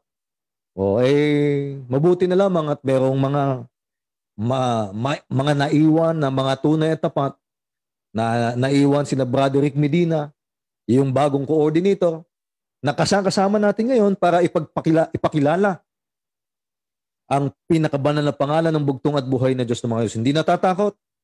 O itong mga coordinator na nananatiling matibay at matapat hanggang ngayon, hindi natatakot na ma- makasama si Brother para ipagsigawan. O mulit-muli pa habang nabubuhay. Na meron lamang nag-iisang Diyos na dapat sambahin. Nasa kabila ng ating paghihirap na ito, ang sinasabi na ako, paano kaya? Wala kaming banal na langis. Aba, ay kung ang hinahanap mo at inaantay mo ay banal na langis ng buhay, mala- malabo ka pa sa sabaw ng pusit. Kasi sabi mismo ni Father Lahi, mawawala nga eh. Ang banal na langis ng buhay. Darating ang araw, mawawala ang banal na langis ng buhay. Eh ngayon eh, hindi nila masabi at maulit yan. Bakit? Kasi pinaninindigan nila eh. Na yung langis nila ay banal. Naku, hindi na ho. Hindi na ho banal. Langis na lamang nila na meron na hong napahamak at meron na hong namatay. Bakit ho pinauulit-ulit ni Brother Will ito? Ay kasi katotohanan ho yan eh. At binabalaan ko yung iba na mga hindi alam at hindi nakakapakinig ng programa dahil sinabihan itong mga tampalasan nito na huwag kayong makikinig ng radyo. Kasi panay kasi nungalingan. O sabi ho ng isa doon sa yung isang dating coordinator doon sa Darasa, natagpuan na yung 1.6 million. natagpuan na daw. Nasaan? O huli panood ko, nakita ko eh, tinatanong nung namoy minuno sa inyo, nasa iyo ba 1.6 million? Tinuturo, eh, tinatanong doon sa makakaharap, nasa iyo ba yun? Bay,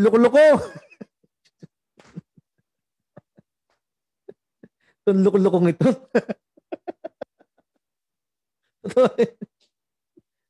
Hinahanap sa mga miyembro. Yung 1.6 million, kung di ba ito sira ang ulo, ano? Kalaki-laki ng ulo eh. Wala yata laman. Hinahanap yung 1.6 million sa mga miyembro, eh, sila ang may hawak. Sila ang, yung asawa ka kinakasama niyang ingat yaman.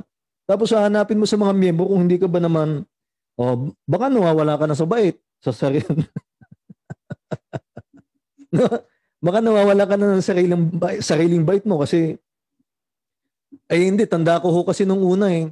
Nung nawala si Father Lahi at mm, tinatakot ni Pamatong yung mga, yan, yung mga kasama ni Father Lahi at ni Elder Ver. Tinakot niyan. Kakasuhan, kakasuhan. O ba, eh, na, na, nagkandawala ho yung mga yan eh. O lalo na eh, yung, yung nagpapakilalang presidente ngayon, nagkandawala eh. O, bakit nawala? Takot. Oo, natakot.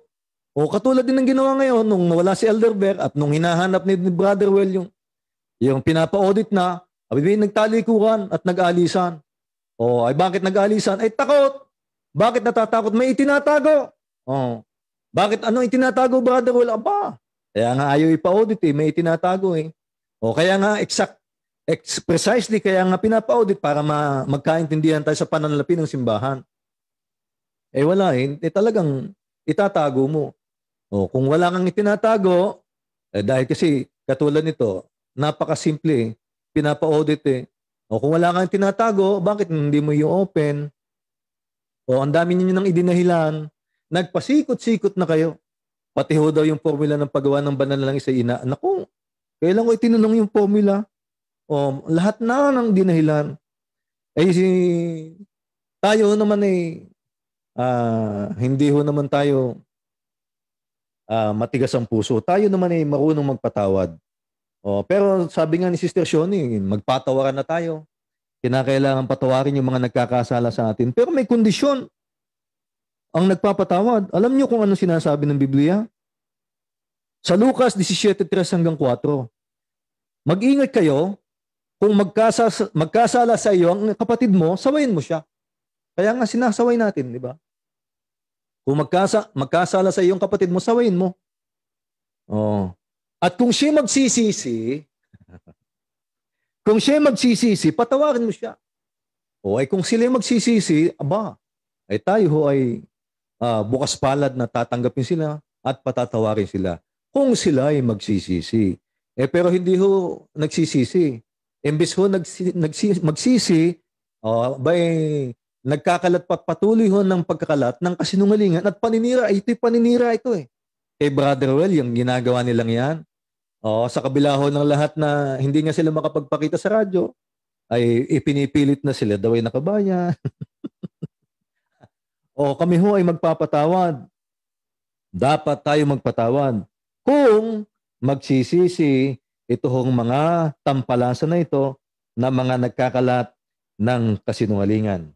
Kaya tayo naman mga kaibigan, mga kapatid, ay natutuwa kasi sa kabila ho ng mga pagsubok na ating pinagdadaanan, unti-unti dahan-dahan, hinay-hinay, tayo po naman ay ah, ah, pinaparamdaman ng bugtong at buhay na Diyos ng mga Diyos, ng kanyang biyaya at ng kanyang pagpapala. Hindi tayo pinababayaan. Sa kabila ng lahat ng itong nararanasan ng buong mundo, tayo ho naman ay nananatiling matibay, malakas. Basta palakasin mo lang ang pananampalataya. Huwag ka lang manlulupaypay at tayo ay sama-sama.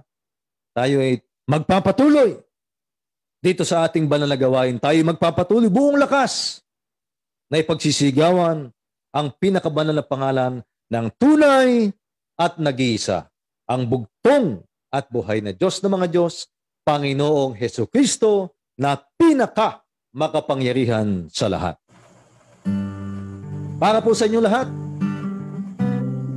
kay sister natin ni Cor, paborito niya ito.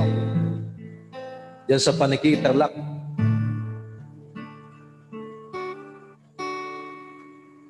Hindi ko alam ang bukas sa aking patutunguhan.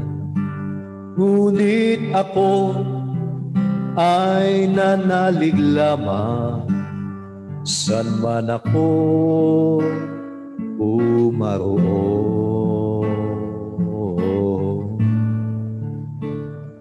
Si Yesu Kristo ang tagapagligtas.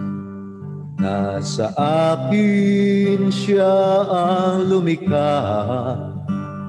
Sa kanya lamang ako umaasa. Pagkat si Kristo ang dakilang Diyos ng mga Diyos. Wala na akong nalalaman sa aking kinabukasan. Ngunit ako ay nanalig lamang kay Heso Kristo, pinakadakilang Diyos ng mga Diyos at kanlungan. Kaya ngayon, ako'y lumakad sa makitid niyang daan. Ang araw na maliwanag nasa akin ay nagtatanglang. Pag-alinlangan at kahirapan ay napawi na ang lahat. Pagkat si Kristo ang aking pag-asa dahil siya ang ligaya. Wala na akong nalalaman sa aking kinabukasan. Ngunit ako ay nanalig lamang kay Heso Kristo, pinakadakilang Diyos ng mga Diyos at kanlungan.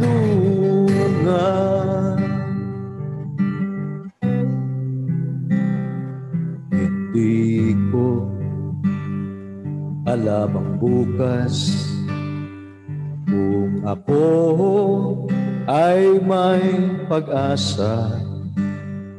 Kaya ako ay nanalig lamang.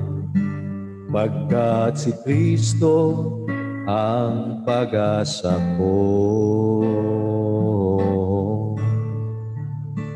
Ang landas niya sa katuwiran ang aking sinusundan sa kaniyang kaharian doon tayo mananahan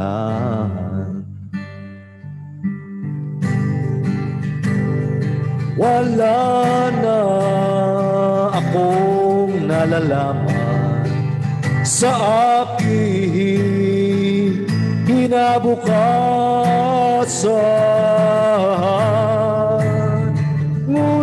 Ngunit ako ay nanalig lamang kay Heso Kristo, pinakadakilang Diyos ng mga Diyos at kanlungan. Kay Heso Kristo, pinakadakilang Diyos ng mga Diyos at kanlungan.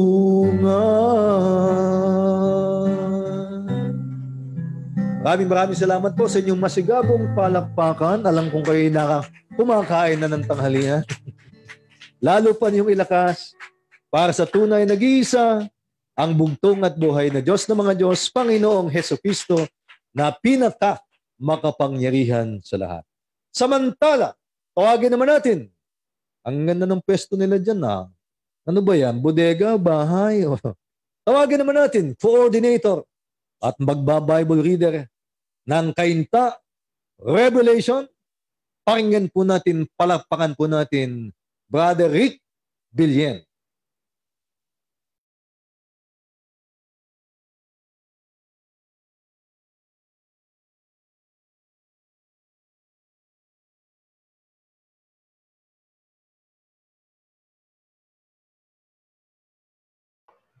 Bilyen. Hello. Hello, hello.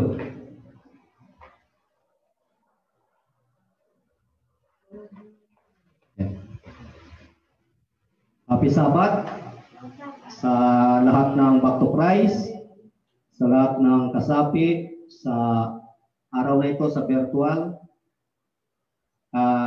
lalong higit sa lahat, sa tunay at nag-iisa, ang bugtong at buhay na Diyos ng mga Diyos, Panginoong Heso Kristo na pinakamakapangyarihan sa lahat. At ganun din kay Father Lahi, kay Elder Bear, at sa iyo, Brother Will. Happy Sabbath na rin. Sa araw na ito, muli na namang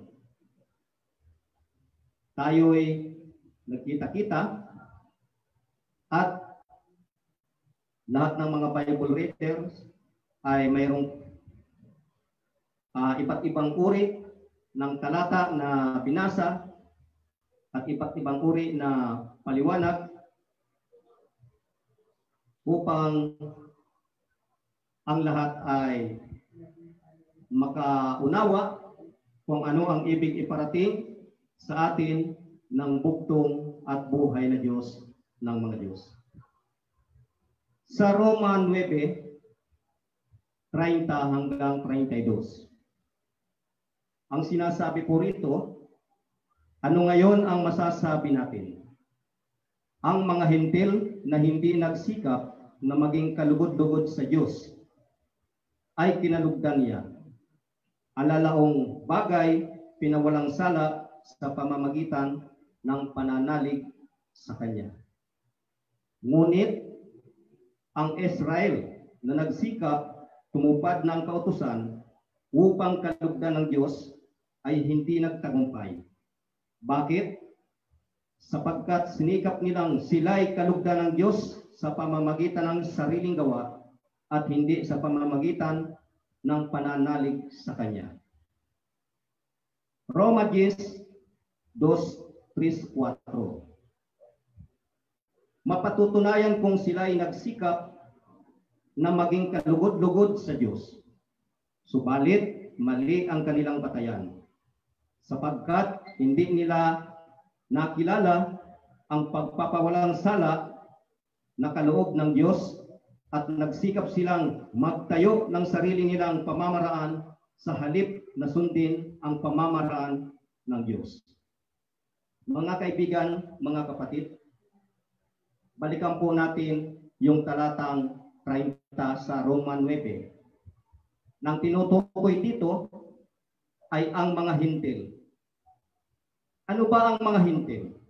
Ang mga hintil ay sila yung tinutukoy sa banal na kasulatan na matitigas ang ulo. Matitigas ang ulo at ayaw nilang kilalanin ang Diyos. Subalit, kung mapapansin nyo, ang sabi sa talatang ito, ang mga hintil na hindi nagsikap na maging kalugod-lugod sa Diyos ay kinalugdan niya. Alalaong bagay pinawalang sala sa pamamagitan ng pananalig sa Kanya. Mga kaibigan, mga kapatid, napakaliwanag po sa talatang ito. Pananalig po ang tinutukoy dito kung bakit ang mga hintil ay kalugod-lugod sa paningin ng Diyos. Parang ganito lang yan mga kaibigan, mga kapatid, sa ating mga back. Marami nagsisikap sa atin upang makamit ang tagumpay o ang buhay na walang hanggan. At mayroon namang, kung mapapansin nyo, bipihira lang minsan dumalo sa gawain. Pero sila pala itong kinalulugdan ng bugtong at buhay na Diyos ng mga Diyos. Bakit? Ay yung mga nagsisikap na gustong kalugdan ng Diyos, yung pala mga kaibigan, mga kapatid, sila ay nagsisikap upang sila ay makilala lamang. Upang sila ay purihin ng kapwa back to Christ. Samantalang yung iba kung mapansin nyo, pag pumunta sa gawain, simple lang. Pero sila pala itong nakikita ng bugtong at buhay na Diyos ng mga Diyos. Di ba sa ating mga tao minsan, kung mapansin nyo, ano ba namang taong ito? Kanina pa yan, nagpapapansin. So ayaw, ayaw ng mga tao kahit ikaw tao ayaw mo yung nagpapapansin, eh lalo na ang bugtong at buhay na Diyos ng mga Diyos. So maraming naglilingkod ng akala nila sila ay kalulugdan ng Diyos, subalit yung pala mga kaibigan mga kapatid, ang kanilang paglilingkod ay napapalayo na doon sa turo at aral na ipinagkalog sa atin ng bugtong at buhay na Diyos ng mga Diyos. Bakit? Kasi lumalaki na ang ulo. Kaya pakatanda natin mga kaibigan, mga kapatid, kung nais natin makamit ang buhay na walang hanggan, maglingkod tayo ng may pag-ibig, ng may katapatan sa bugtong at buhay na Diyos ng mga Diyos. Upang nang sa ganon, ay hindi tayo mapariwara. Upang nang sa ganun ay hindi tayo maging mapagpaimbabaw. Sabi nga sa Roma 10, 11, sinabi sa kasulatan, hindi mabibigo ang sinumang nananalig sa Kanya. Kaya kung mapapansin nyo, yung mga hintil ay kinalugdan ng Diyos dahil sa pananalig. Samantalang yung mga Israelita na inaasahan ng karamihan na sila yung dapat kalugdan ng buktong at buhay na Diyos ng mga Diyos. Kasi lagi silang active sa paglilingkod. Subalit, bandang huli, sila pala itong hindi kinalugdan ng buktong at buhay na Diyos mga Maraming salamat.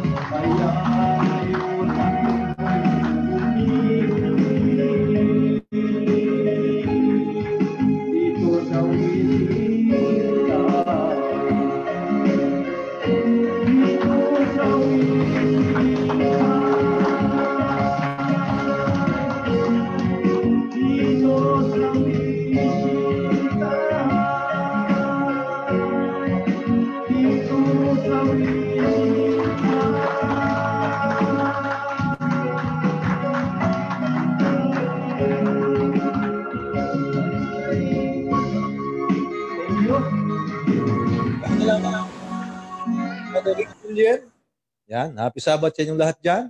Sa Kainta Revelation. Samantalang, bago natin tawagin ang sunod na Bible reader, happy Sabbath po, Sister Oyi. Diyan sa Biga Uno, silang Cavite. Nakatutok daw sila ngayon at nanonood sa ating virtual concert. Andito po ako ngayon sa Bailen, ang aking sinilangang bayan. Oh, Bailen. Yan ay sa Sako pa ba yan ng silang, Sister Oyi? Oh, maganda dyan sa Bailen eh. Samantalang Sister Emmy Rugado, happy Sabbath din sa inyo. Nakatutok po kami ngayon sa ating virtual sa Talisay Lipa Revelation sa pangunguna ni Brother Fer at Sister Cherry Lopez at mga miyembro. Ayan. Sister Telma, ayan. Happy Sabbath sa inyong lahat. Sister Mirna Zamora. Oh, saan po ngayon ang inyong virtual?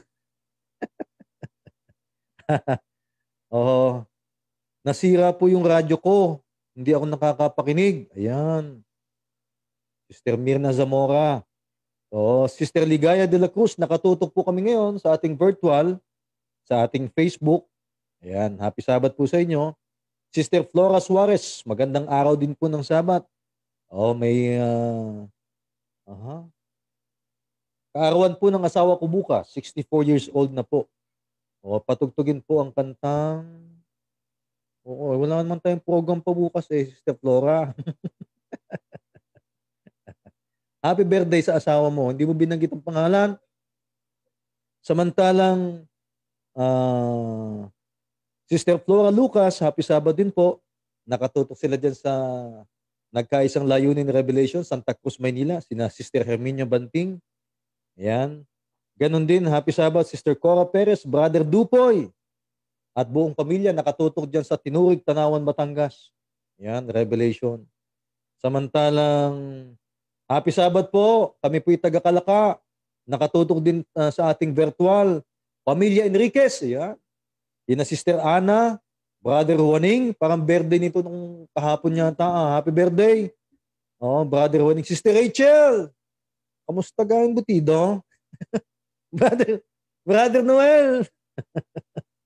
Sister Mildred, Sister Elma, Sister Benny, Brother Eli, Brother Rene, Sister Marie, Sister Miriam, Brother Willie. Ayun, binanggit lahat sa Kalakawa Revelation. Good uh, afternoon po sa inyo. Happy Sabbath. Samantalang, uh, Brother Tony, Happy Sabbath din. Oh, kumusta ka na, Brother Tony? Brother Tony Ulikino ng Bodega Florida Blanca Revelation. Ah, ha? Sino pa? Nagpadala po ako ng handog sa ating palatuntunan. Ako po si Brother Efren Heredero. Aba, mayaman ito. Heredero eh. Taga-Taytay Palawan po kami. O saan kaya pinadala? Sa Palawan Express. Ayan. Salamat po. Samantalang Brother Alfonso Pacris. Ayan, nagpadala din ng handog sa atin pong palatuntunan. Ah, handog. Naka, ha? Nagpaparamdam po kami. May padala nga pala ng handog ang aming Vice Coordinator, Brother Jimmy Alba ng Matugbong, Barangay Isugod, Quezon, Palawan. Ang nag-text, Brother Jaime Pacris. Ito po yung tracking number. Ayan, maraming salamat po. Oh, tracking number at saka magkano pong pindala? Hindi na banggit, hindi mo makiklaim. O, ite-text natin ulit na ah 500. Ayun, ayun, maraming salamat po. Samantalang happy Sabbath din. Nakatutok din at nanonood sa ating virtual. Ah hindi kontentong buong maghapon kung hindi ako nakakapakinig ng radyo at naka, nakakapag uh, nakakatutok sa ating virtual concert. Oh, ang pangalan, 'yun ang problema. Nakalimutan mong sabihin ng pangalan. Oh, walang pangalan eh. Ayon, ang nag-text Sister Lilia ng Morong Bataan. Ang bilis na sagot pa. Sabi ko, walang pangalan yung unang text eh. Yung pangalawa, ni may, may pangalan agad. Samantalang uh, Sister Elisa Bona, happy Sabbath din. Diyan sa San Francisco, Quezon, sa Inabuan. Nakatutok sila ngayon.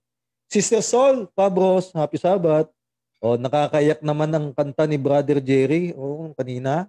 Pambungan na bilang. Oo. Oo. Samantalang Sister Lita Alilio, pakibati nga po ng uh, happy 57th birthday.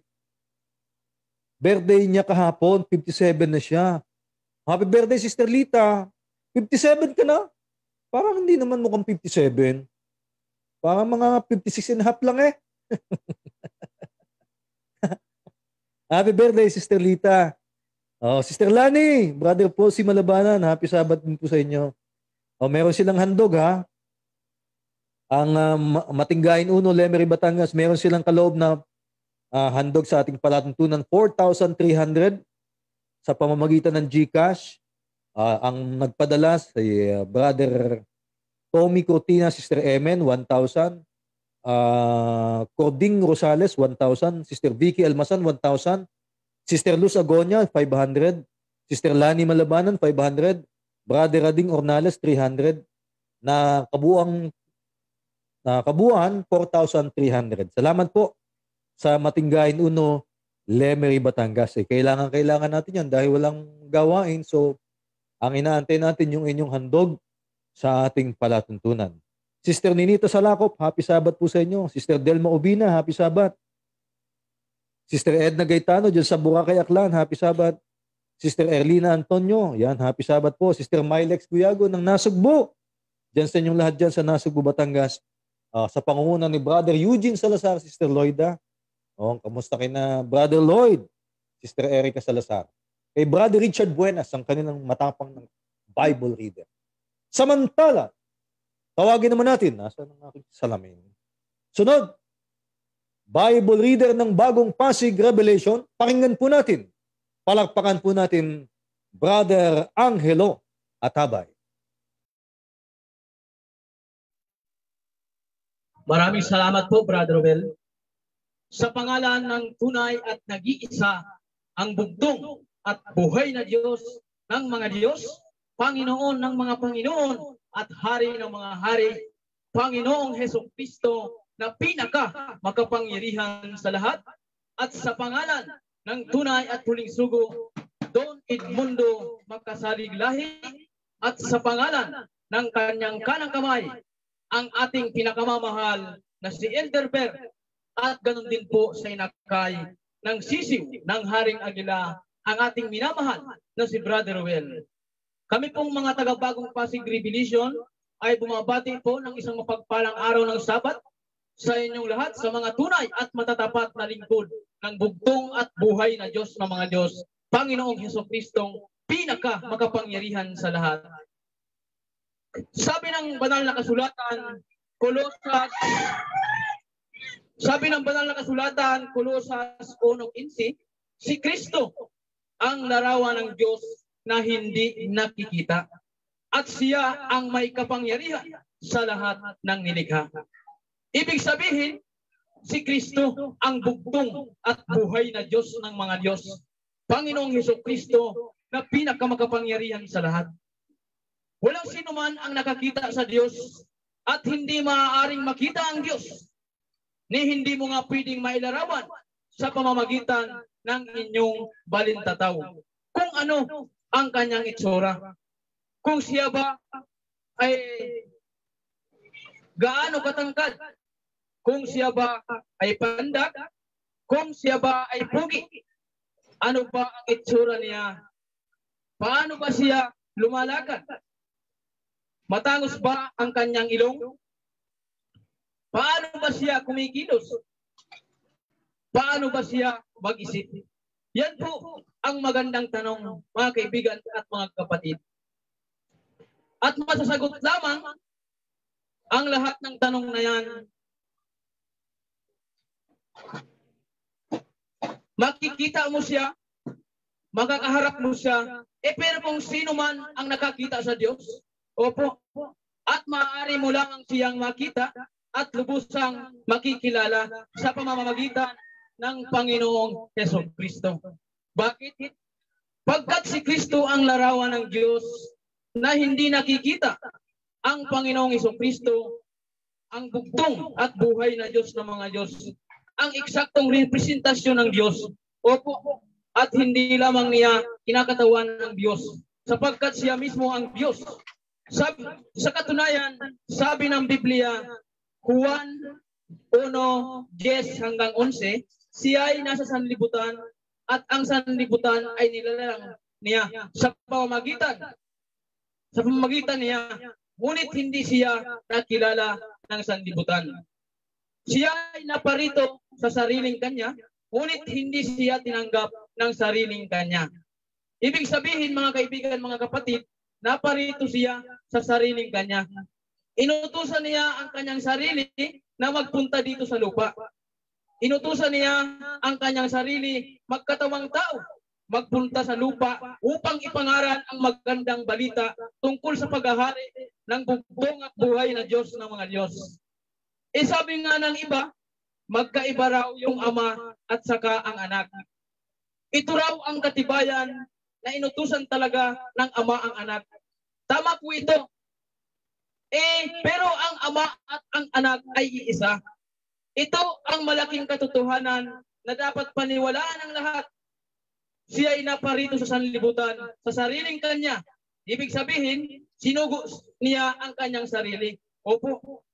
Siya din po yun, ang ama na bumaba sa lupa sa katauhan ng anak, ang bugtong at buhay na Diyos ng mga Diyos, Panginoong Heso Kristo na pinaka makapangyarihan sa lahat.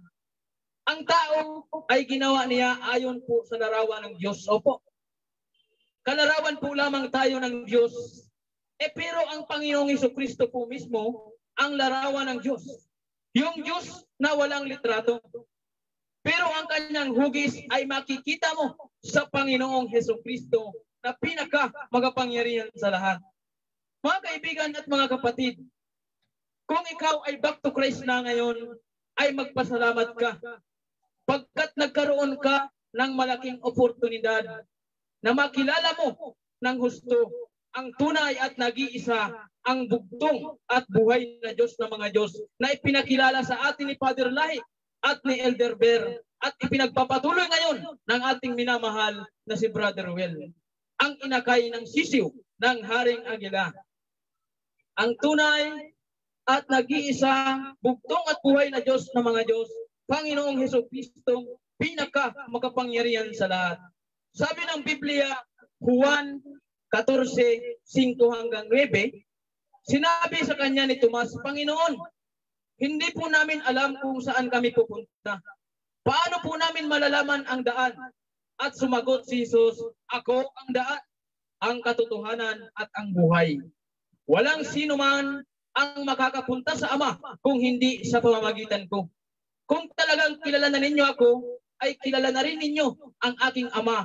At mula ngayon ay kilala na nga ninyo siya. At nakita nyo na. At sinabi naman ni Tomas, Panginoon, ipakita mo sa amin at maliligayahan na kami. At sumagot si Jesus, Felipe, hindi mo pa ba ako kilala?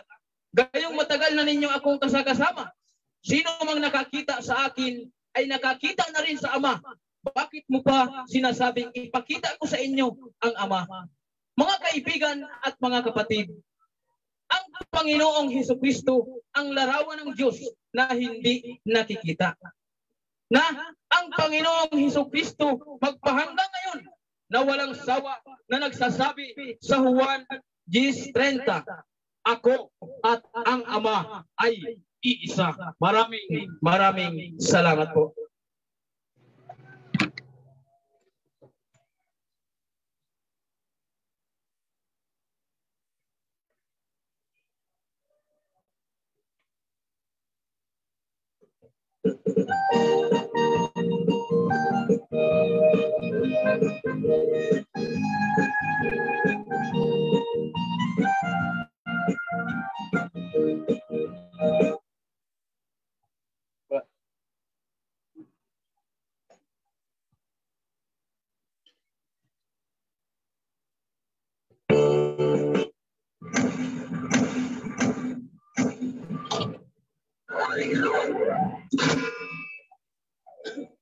Palakpakan natin ang tunay at naging sa bugtong at tunay na Diyos Panginoon. Ay tunay na pinakakilan.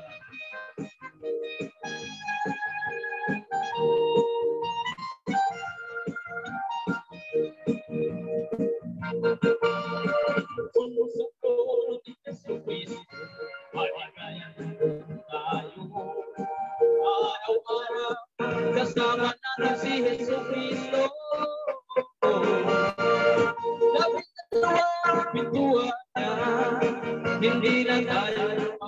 Padisha.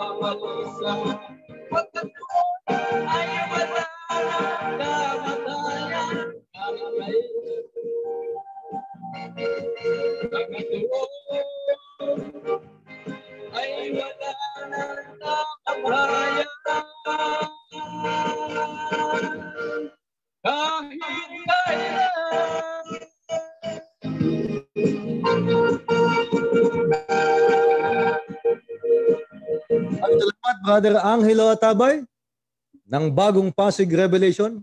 Kumusta happy Sabbath kina Sister Lucy Cruz, kila Brother Orly, kila Brother Edmund Delgado, kila Sister Ems Karinga. Yan, happy Sabbath po sa inyo.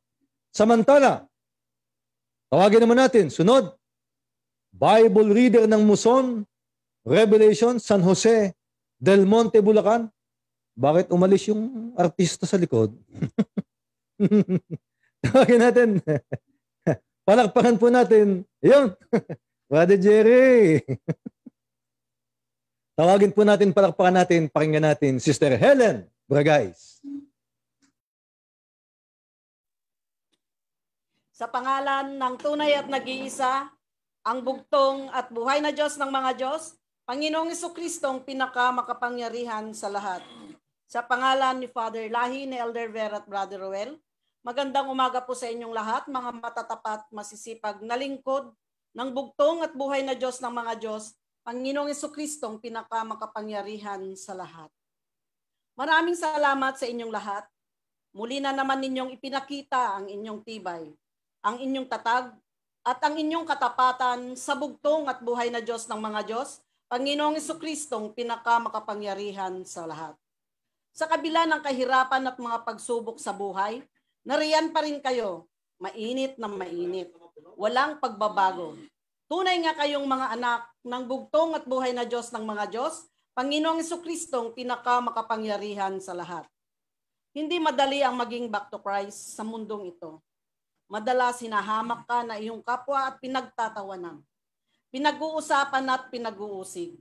Ginigipit at malimit ay inaapi at minamaliit. Subalit sa kabila ng lahat, nariyan pa rin kayo. Matapat, masipag, matatag, at higit sa lahat ay matapang. Naninindigan sa katotohanan na ito lang ang itinatag na krusada ni Father Lahi at Elder Ver na ipinagpapatuloy ni Brother Rowen. Mateo 16:5-12 Nang tumawid sa ibayo ang mga alagad, nakalimutan nilang magdala ng tinapay. Sinabi ni Jesus sa kanila, Mag-ingat kayo sa libadura ng mga pariseo at saduseo. Nag-usap-usap ang mga alagad. Sabi nila, kasi wala tayong dalang tinapay, kaya sinabi niya yon. Alam ito ni Jesus kaya sila'y tinanong niya, Bakit ninyo pinag-uusapan na wala kayong dalang tinapay? Napakaliit ng inyong pananalig. Hindi pa ba kayo, hindi pa ba kayo nakakaunawa? Nakalimutan ba ninyo ng pagpira-pirasuhin ko ang limang tinapay para sa liman libo? Ilang bakol na tinapay ang lumabis? Gayon din ang pitong tinapay para sa apat na libo. Ilang malalaking bakol ang lumabis. Ano't hindi nyo naunawaan na hindi tungkol sa tinapay ang sinasabi ko? Mag-ingat kayo sa libadora ng mga pareseo at saduseo. At naunawaan nilang sila'y pinag-iingat niya sa turo ng mga pareseo at saduseo at hindi sa libadorang gamit sa tinapay. Mga kaibigan at mga kapatid, sa kasalukuyan ay umiikot ang mga makabagong pariseo. Nagpapaliwanag sila para mapaniwala kayo sa kasinungalingan nila. May dala-dala silang mga dokumento. para yung iba ay matamnan ng pagdududa ang kanilang isipan. Pero sabi nga ng Panginoong Kristo, napakaliit ng iyong pananalig at hindi pa kayo nakakaunawa. Pag-usapan po natin ito. Yung pinaka-issue ngayon dito, yung 1.6 million. Meron daw silang resibo na nagpapatunay na binayaran nila ang 1.6 sa DZXL. Kung nakikinig ka ng palatuntunan tuwing madaling araw, ang papasok sa isip mo ay ito. Kung totoong binayaran nila ang DZXL, ay bakit hinahanap sila? Kung totoong binayaran nila ang DZXL, ay bakit sinisingil tayo? Bakit sinisingil si Brother Roel? Kung totoong binayaran nila ang DCXL, ay bakit di sila pumunta sa station ng radio at ipakita ang kanilang resibo, proof na nagbayad sila. Bakit ayaw nilang magpakita doon? Eh hinahanap sila. Kung totoong binayaran nila ang 1.6, ay bakit hindi nila ma-post sa Facebook yung resibo nila? Bakit? Totoo ba yung proof nila or fake? Aba, ay kung totoong nagbayad sila, ay maraming maraming salamat po. Pero bakit nga hanggang ngayon sinisingil tayo? Alam nyo mga kaibigan ko at mga kapatid, kaysa ipakita nyo yung resibo nyo kung kani-kanino, pumunta na lang po kayo sa DCXL. Doon ho sa station manager. Ipakita nyo na yung resibo nyong nanggaling sa kanila kung totoong meron nga po. Kaya mga kaibigan at mga kapatid, ito ang ginagamit nilang libadura para madinlang kayo at mapaniwala sa kanilang kasinungalingan. Kaya mag-ingat po tayo. Pag malakas ang ating pananalig ay hindi tayo basta-basta mapapaniwala ng mga pariseyong ito. Sabi nga ho sa unang Pedro 5.8.9, Humanda kayo at magbantay. Ang jablo na kaaway nyo ay parang leon na umaatungal at umaaligid na naghahanap ng masisila. Labanan nyo sila at magpakatatag kayo sa inyong pananalig sa Diyos. Uulitin ko po, sa mga kapatid natin na pinupuntahan ng mga pariseyong ito, huwag nyo na po silang i-entertain sa inyong bahay. Alam nyo naman po kung ano ang kanilang pakay.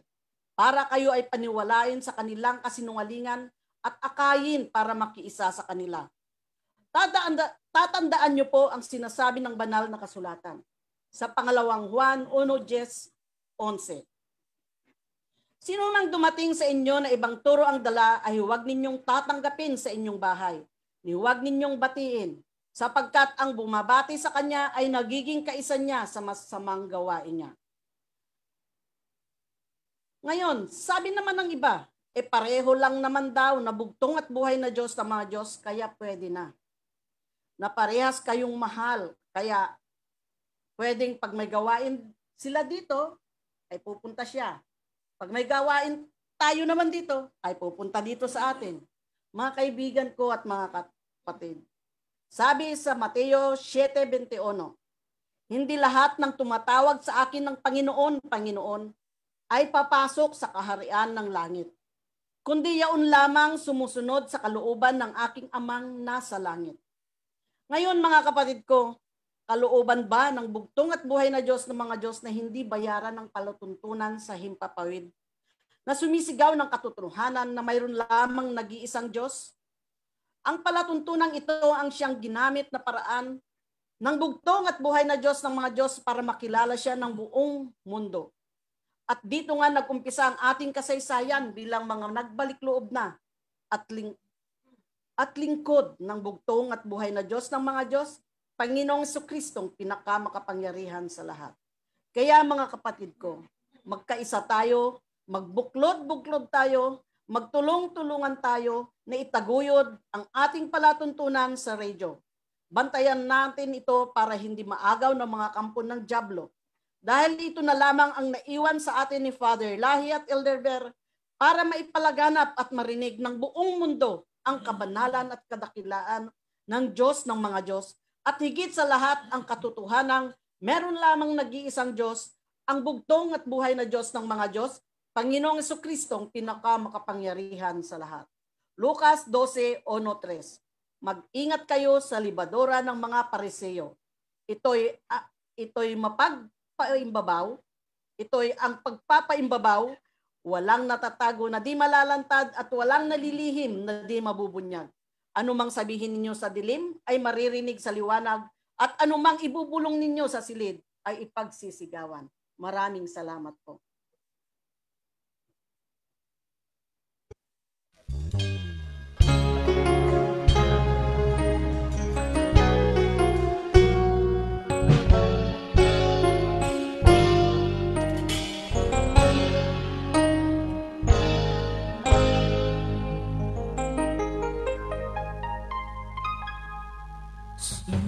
Jesu Cristo lamang ang siyang tanging daan tungo sa buhay na walang hangganan.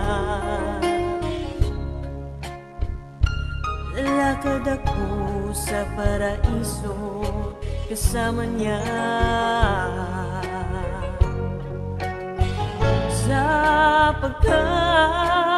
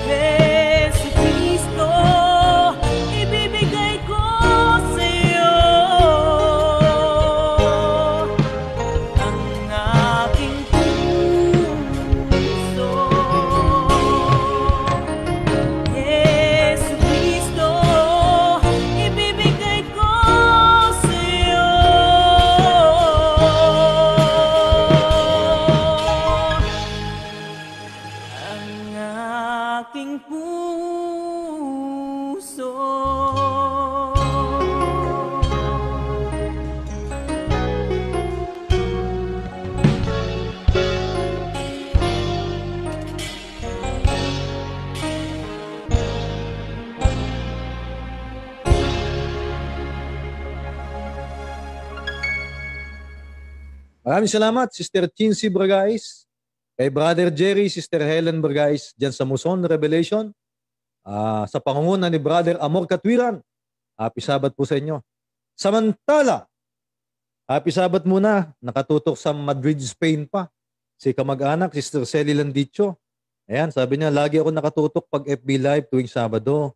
At lagi din ako nakikinig araw-araw sa ating programa. Salamat po.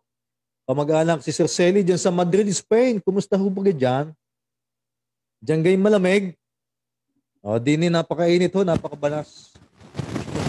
Dito sa Metro Manila, at ako, dito sa labas ng Samantalang, oy, ang Sabado din, nandyan sina, nakatutok sina Aidan, sina ah, Brother Dingdong, sila Utol, sila Brother Boy, Perez, sa, sa Santana, sila Dam, yan, sina, ah, sila A, yan, sino pa, yan, andyan sila lahat, si Epiling, yan.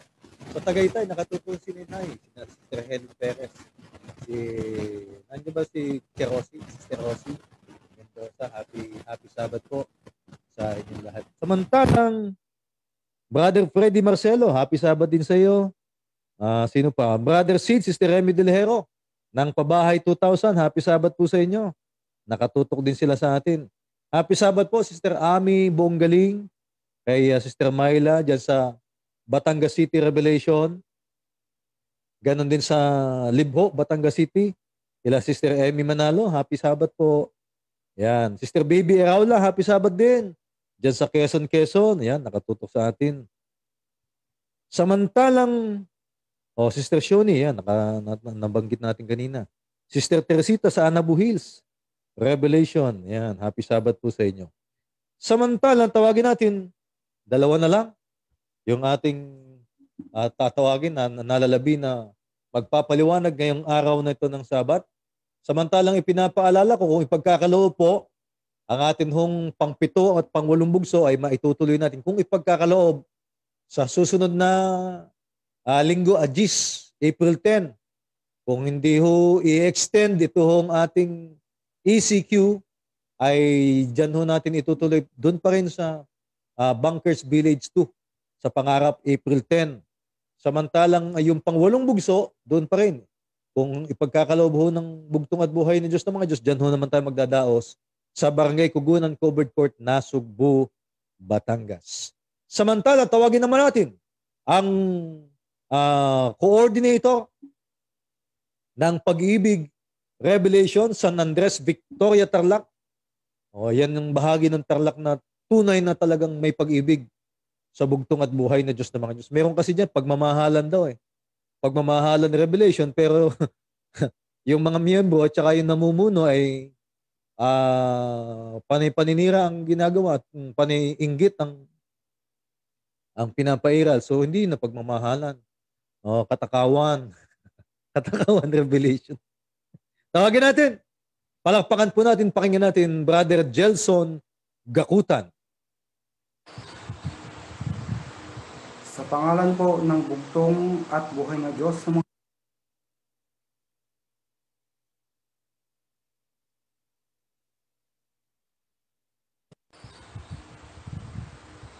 pangalan po ng bugtong at buhay na Diyos ng mga Diyos, Panginoong Heso Kristo na pinakamakapangyarihan sa lahat.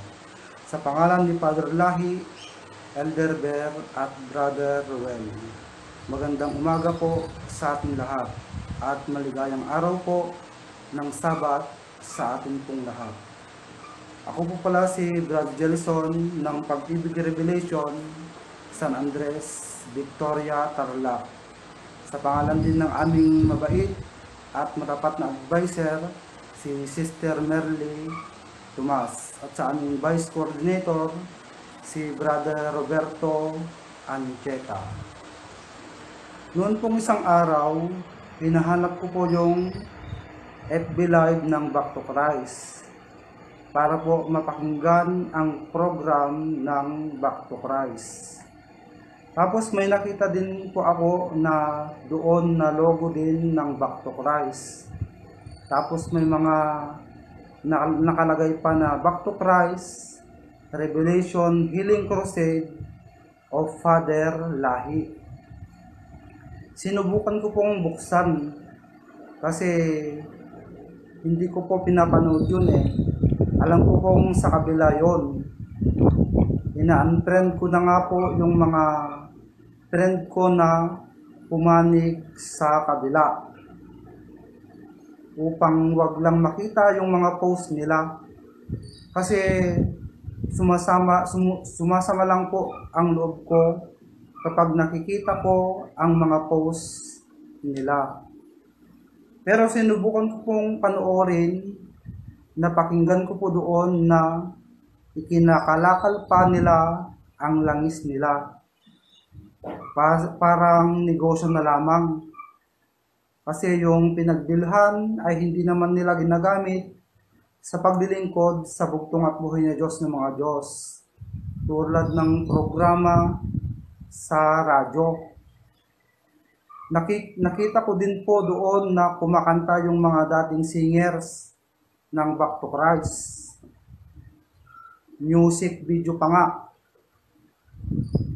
Pero sa dating po ng kanilang awit, hindi mo na po maramdaman yung masaya, maligaya, at nalulugod ang buktong at buhay na Diyos ng mga Diyos, Panginoong Heso Kristo.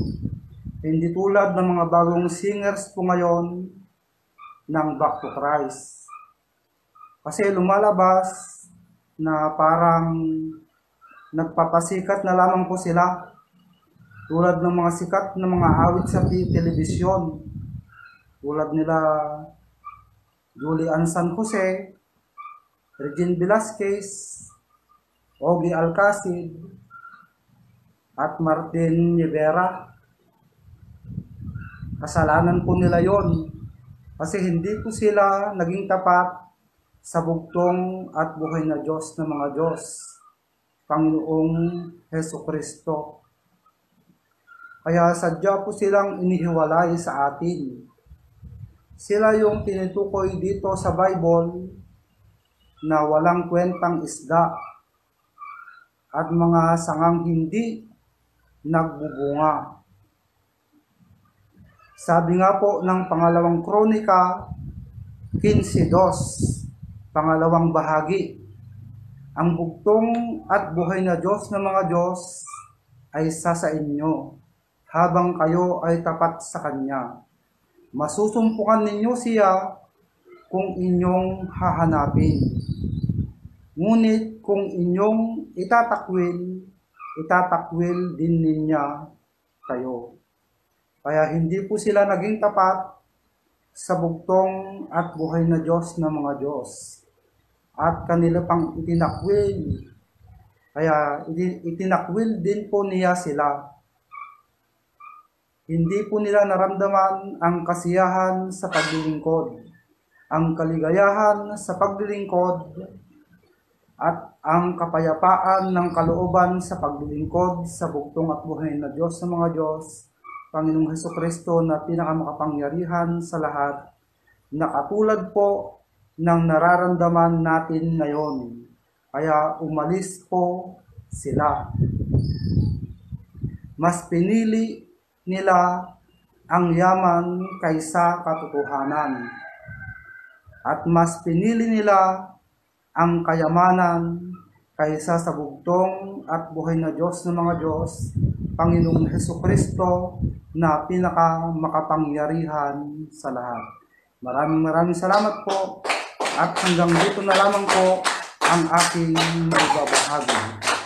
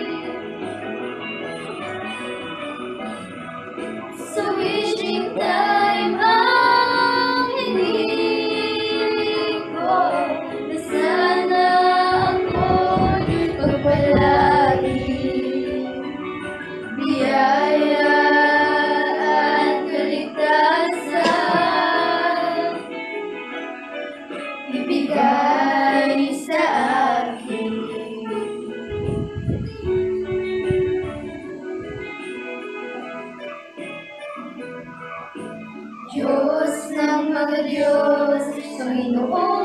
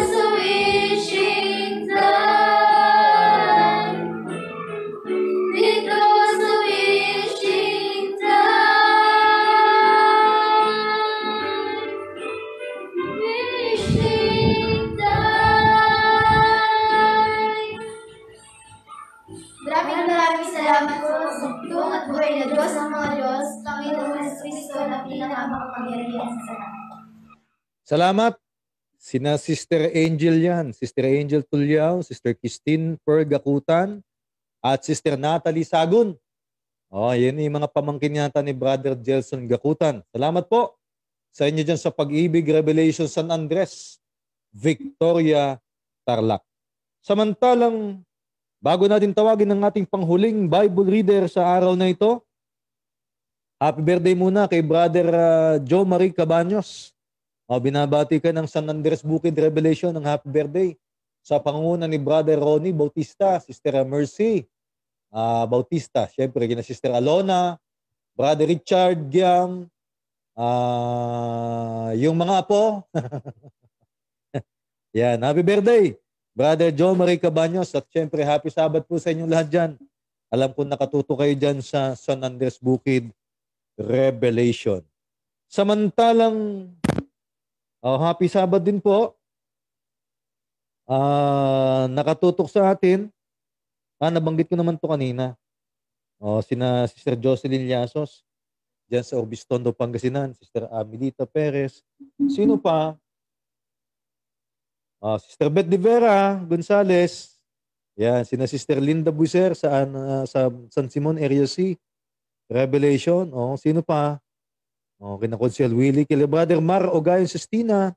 Happy Sabbath sa inyo, Santa Elena, Camarines Norte, Revelation. Samantalang nakatutok din sa atin, o si Doc JP ha, sa Tagaytay. Si Utol, oo, nandyan nga rin pala, hindi natin nababanggit. Doc JP Perez. Yan, happy Sabbath. Ah, samantala, oh, tawagin na natin, Sister Emmy Ramirez. Yan, happy Sabbath. Aha, sino pa? Yan, nabati natin lahat. Samantala, tawagin na natin ang ating panghuli. Oy, baka kayo natutulog, ito panghuli na. O, tawagin natin ating panghuling Bible reader sa araw nito. Bible reader ng ah, San Juan Revelation, Taytay Rizal eh. Pero nasa Mandaluyong sila eh. Palakpakan po natin Sister Nelsie Makaraig.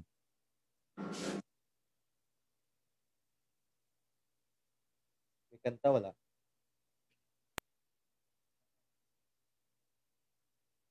Sa pangalan ng tunay at nag-iisa, bugtong at buhay na Diyos ng mga Diyos, Panginoong Heso Kristo na pinakamakapangyarihan sa lahat. Sa tunay at huling sugo na si Father Don Edmundo Makasalik Lahi, sa sisiw ng Haring Agila na si Elder Ver, at sa inakay ng sisiw ng Haring Agila na si Brother Ruel, ako po ay bumabati sa inyo ng isang maganda, mapagpala at maligayang araw ng Sabat mga kapatid. Ang babasahin ko po ngayong araw na ito ay mula dito sa Tito 3, 1 hanggang 11. ang dapat na maging ugali ng mga Kristiyano.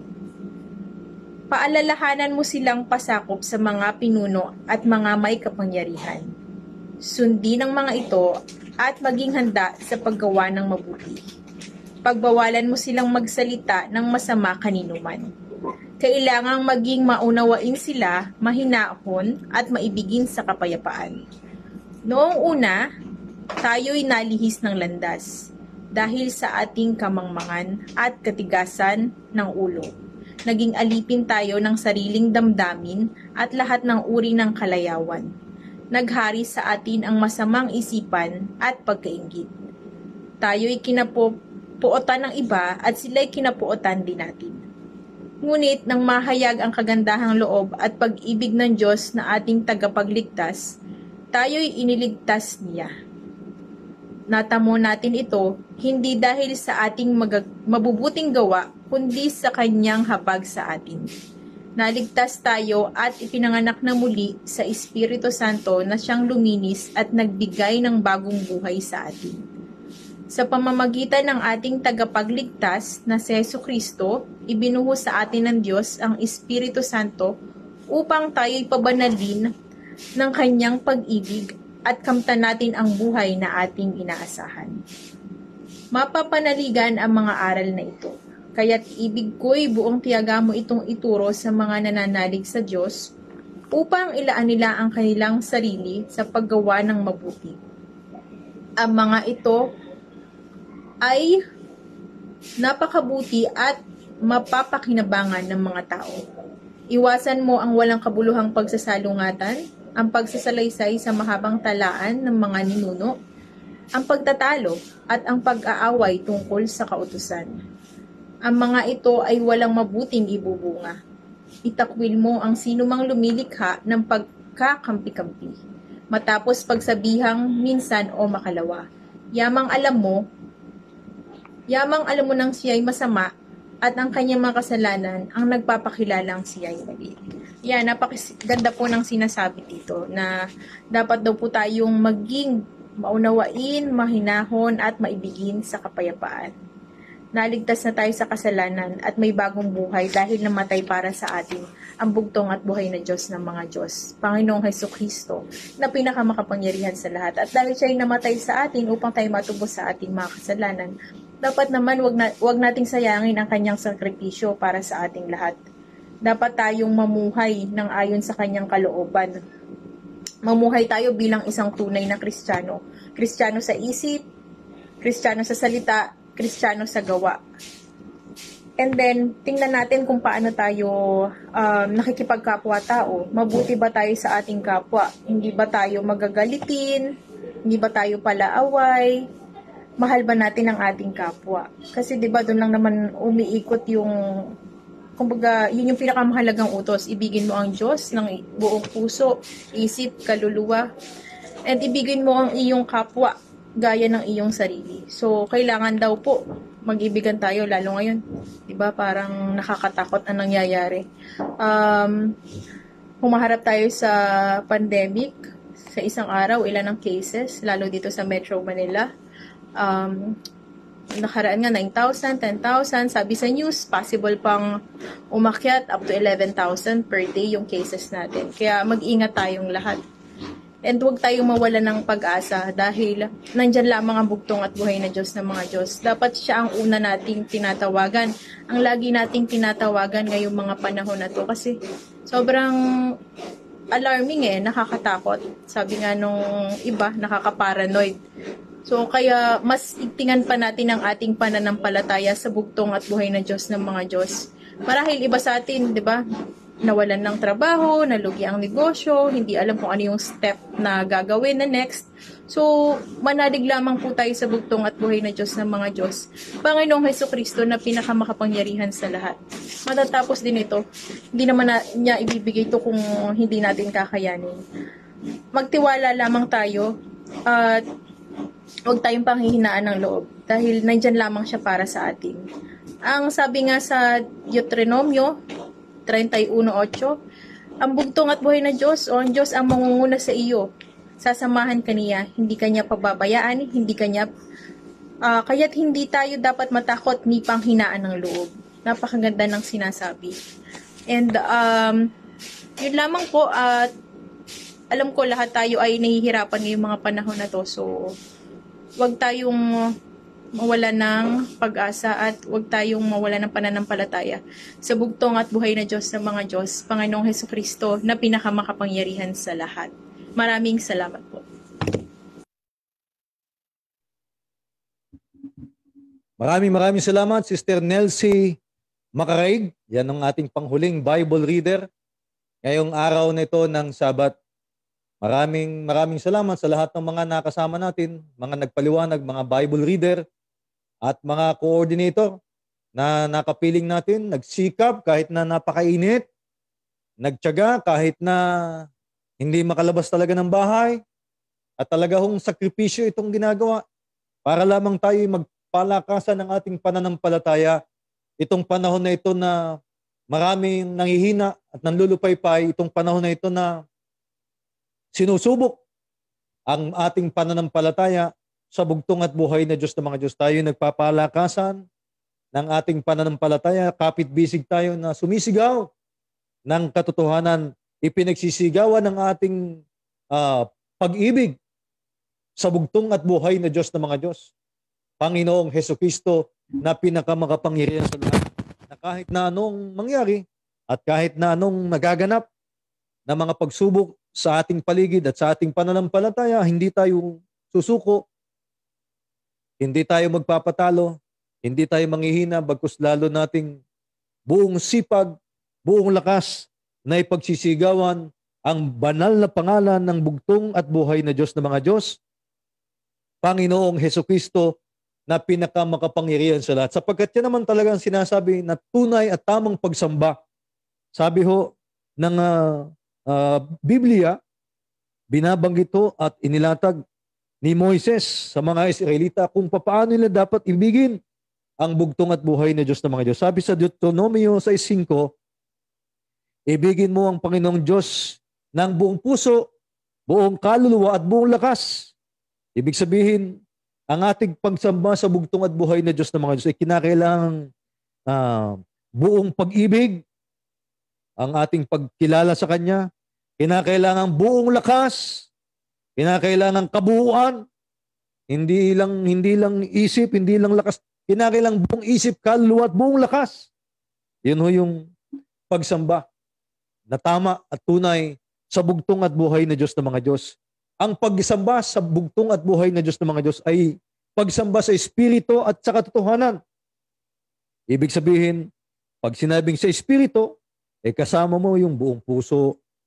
Oh, malibang may tunay na pag-ibig para sa bugtong at buhay na Diyos ng mga Diyos ay hindi hindi kumpleto. Hindi pagsamba yan sa Espiritu. Ngayon din naman dapat ay sa pagsamba sa katotohanan, ibig sabihin dapat ikinikilala mo Kinikilala mong bugtong at buhay na Diyos ng mga Diyos na iyong sinasamba na nag-iisang Diyos at wala nang iba bugtong at buhay na Diyos ng mga Diyos. Panginoong Heso Kristo na pinaka makapangyarihan sa lahat. Kaya naman tayo, sa kabila ng mga pagsubok, nananatili tayo matibay at matapat, manatili tayo na na masigasig sa ating paglilingkod sa Kanya, hindi tayo mapipigilan ng kahit anong mga pagsubok na nangyayari sa atin ngayon, nangyayari sa buong sanlibutan, at nangyayari sa ating, sa ating buhay at sa ating pananampalataya, buong sipag, buong lakas, sabi ho ng Biblia, buong isip at buong kaluluwa, tayo magsasama-sama na ah, kikilala, dadakila, at ipagpapatuloy itong banal na gawain ito para ipakilala ng buong sipag, buong lakas, sa kahit na anong mangyari, ang bugtong at buhay ng Diyos ng mga Diyos, Panginoong Heso Kristong pinaka makapangyarihan sa lahat. Narito na po ang ating pangwakas na bilang para sa araw na ito.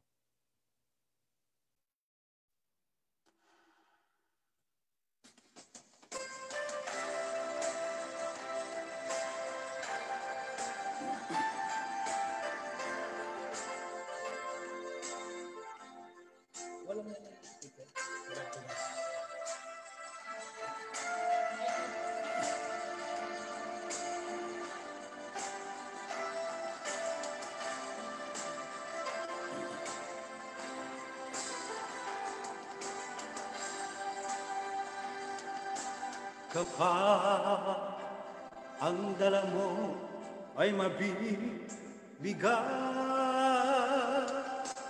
Yan ang tangi mo kapalaran.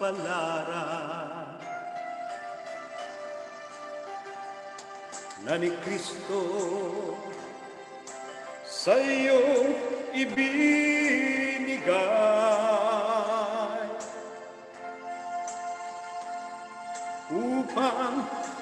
maalala mo siya habang ikaw ay nabubuhay.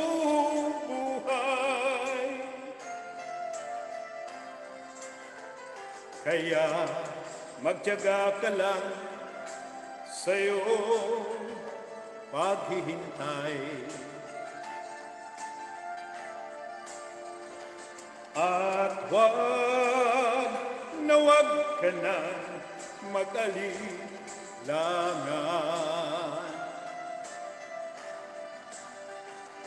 Magtiyaga at maghintay ka lamang hanggang sa pagdating ni Jesu Kristo. Magsiluhod po tayong lahat.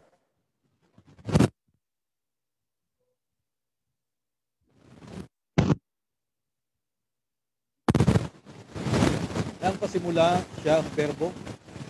At ang berbo ay sumasa Diyos at ang berbo ay Diyos. Ang pinakamakapangyarihang Diyos ng mga Diyos, Yesu Cristo, ikaw ang ilaw ng aming mga paa at liwanag ng aming mga Diyos. Bugtong at buhay na Diyos ng mga Diyos, Panginoon ka ng mga Panginoon at Hari ka ng mga Hari. Ikaw ang lumikha ng langit at lupa at lahat ng mga bagay na nakikita at hindi nakikita. Na ang langit ng mga langit ang iyong tahanan. Ikaw ang walang dungis at kapintasan at ikaw din ang nag-iisang pinakabanal at pinakasakdal, Panginoong Heso Kristo, na pinakamakapangyarihan sa lahat, na walang katulad at hindi matutularan, na ikaw rin ang walang kapantay at hindi mapapantayan magpakailanman sapagkat ikaw ang walang simula at wala ring katapusan. Ngunit bumaba ka dito sa lupa, nagkatawang tao sa pinakamababang uri ng pamumuhay. Ikaw ay nagdusa at nagpakamatay upang mabawi mo lamang kami mula sa tiyak na kamatayan. Kaya ikaw ang aming tagapangalaga, tagapagtanggol, tagumpay at pagawagi, at pinakamabisang gamot sa lahat ng aming karamdaman. Ikaw ay nasubukan na ng libu-libong henerasyon sa apat na sulok ng daigdig. At nang dahil sa iyo, ang kamatayan ni wala ng bisa sapagat ikaw ang pinakadakilang tagapagligtas noon, ngayon, at magpakailanman sapagkat ikaw ang buhay na walang hangganan. Kaya kami po ay umaasa na kami ay yung ipagtatanggol sa lahat ng uri ng mga sakuna at kapahamakan at sa kumakalat na COVID-19 virus at sa biglang kamatayan at lahat ng masasamang tao, lalong-lalo na sa mga taong lumalapastangan at nagnanais ng aming buhay dahil sila ay nagagalit sa amin.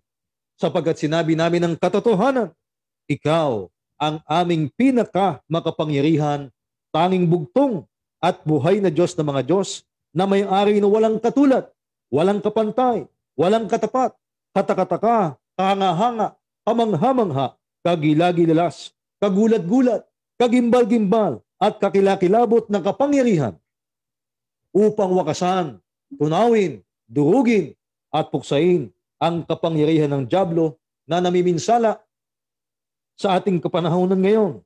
Pagkat ikaw lamang, Heso Kristo, ang nag-iisang pinakamakapangyarihang lalaki na kayang makapagpabago ng aming landas at sa takbo ng panahon.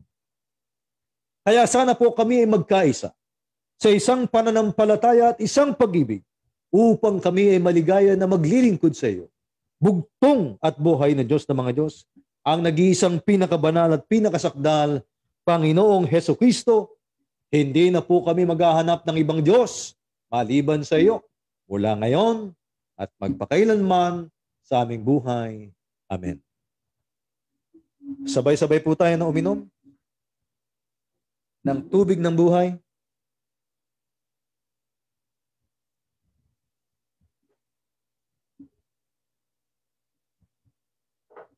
Halika ng limang beses ang ating Power ID, Power Medal.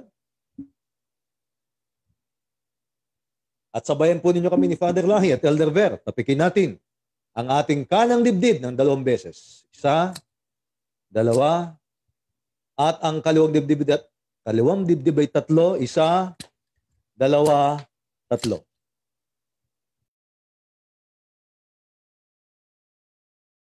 Maalala mo siya para sa iyong kagalingan.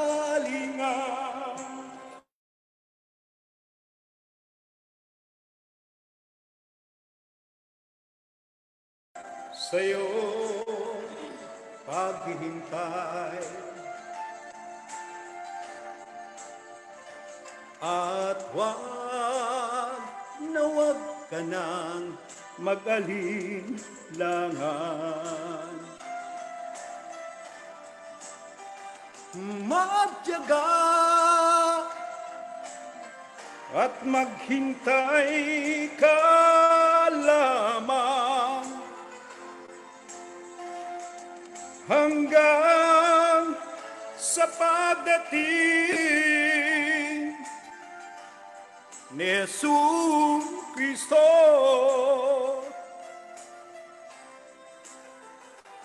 Kapag sa buhay mo, ikaw ay may kalungkutan, mayroon lamang isang tanging aliw. Na siya ang may-ari ng buhay mo.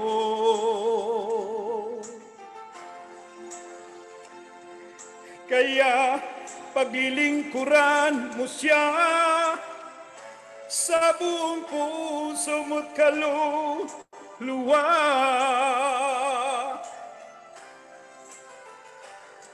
Kaya magtiyaga ka lang sa'yo paghihintay. At huwag na huwag ka na mag-alinlangan. Magtiyaga at maghintay ka lamang hanggang sa pagdating ni Jesus Kristo. Kaya magtiyaga ka lang sa'yo paghihintay. At wag na wag ka nang mag-alinlangan. Magtiyaga at maghintay ka lamang hanggang sa pagdating ni Jesus Kristo.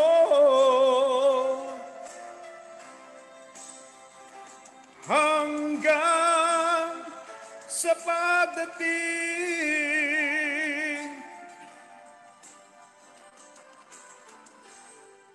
ni Jesus Kristo.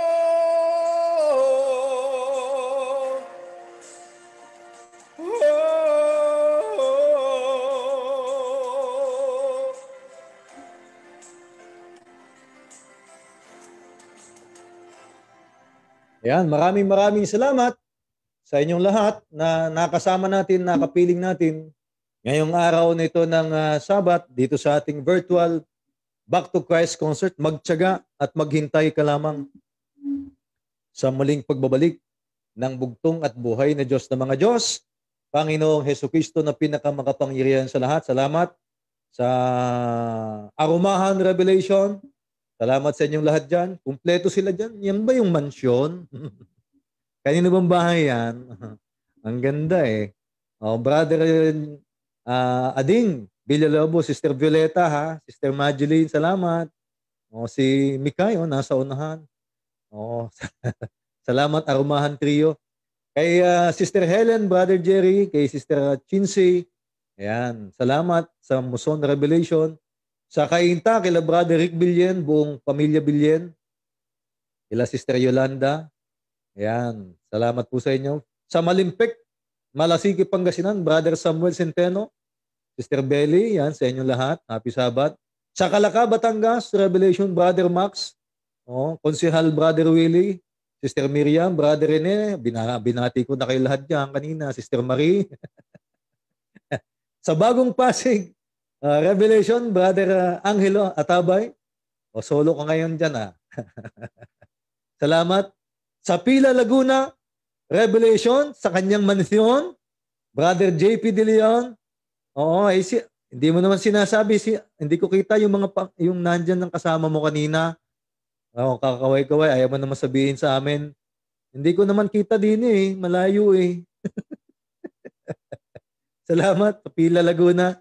Brother uh, Roland, Sister Lolit Ilagan, dyan sa uh, Pangarap Caloocan, Revelation, salamat Sister Claudine, Giban, Sister Jennifer, Corpin, sina Sister Millet ay hindi, nandun sila sa chapel. Hindi sila nakapag, uh, syempre, nasa chapel. Wala silang ano doon, FB Live. Samantalang, sino yung nandito sa baba? Sa kaliwa? Sister Nelsie Macraig, yung huling nating tinawag ng Mandaluyong. Kamusta kay Sister Josie? At uh, syempre sa inyong lahat dyan sa, yan. Samantalang salamat din sa San Guillermo Lipa. Revelation, Brother Ross Nason, kay Brother Polly Mosca, at nandiyan si Brother Bobby Cabarles ng Padre Garcia Revelation. Uh, yung Antipolo, kay na Sister Shoni Gutado. Salamat. Sino pa? San Simon, Area C Revelation, ina uh, Sister Linda Buiser, Brother Alan. Yan, maraming maraming salamat po sa inyong lahat na nagtyaga at nagsikap. Sa lahat ng mga tumutok, ang dami kaninang views. Nasa 275 to 301. Pambihira, ang dami oh. maraming maraming salamat po. Sa pangalan po ng tunay at nag-iisa, ang bugtong at buhay na Diyos ng mga Diyos, Panginoong Heso Kristo, na pinakamakapangyarihan sa lahat, sa pangalan ng tunay na sugo, Don Edmundo Makasalig Lahi, sa pangalan ng kanyang kanang kamay, ang sisiw ng Haring Agila, ang ating pinakamamahal na si Elder Ver, ito po naman ang inakay ng sisiw ng Haring Agila, si Brother Well hanggang sa lunes, sa ating palatuntunan, sa DCXL, nag-iisang palatuntunan, alas 3 ng madaling araw hanggang sa lunes. Maraming salamat, happy Sabat, magandang hapon, mabuhay tayong ng bugtong at buhay na Diyos ng mga Diyos, Panginoong Heso Kristong pinaka makapangyarihan sa lahat.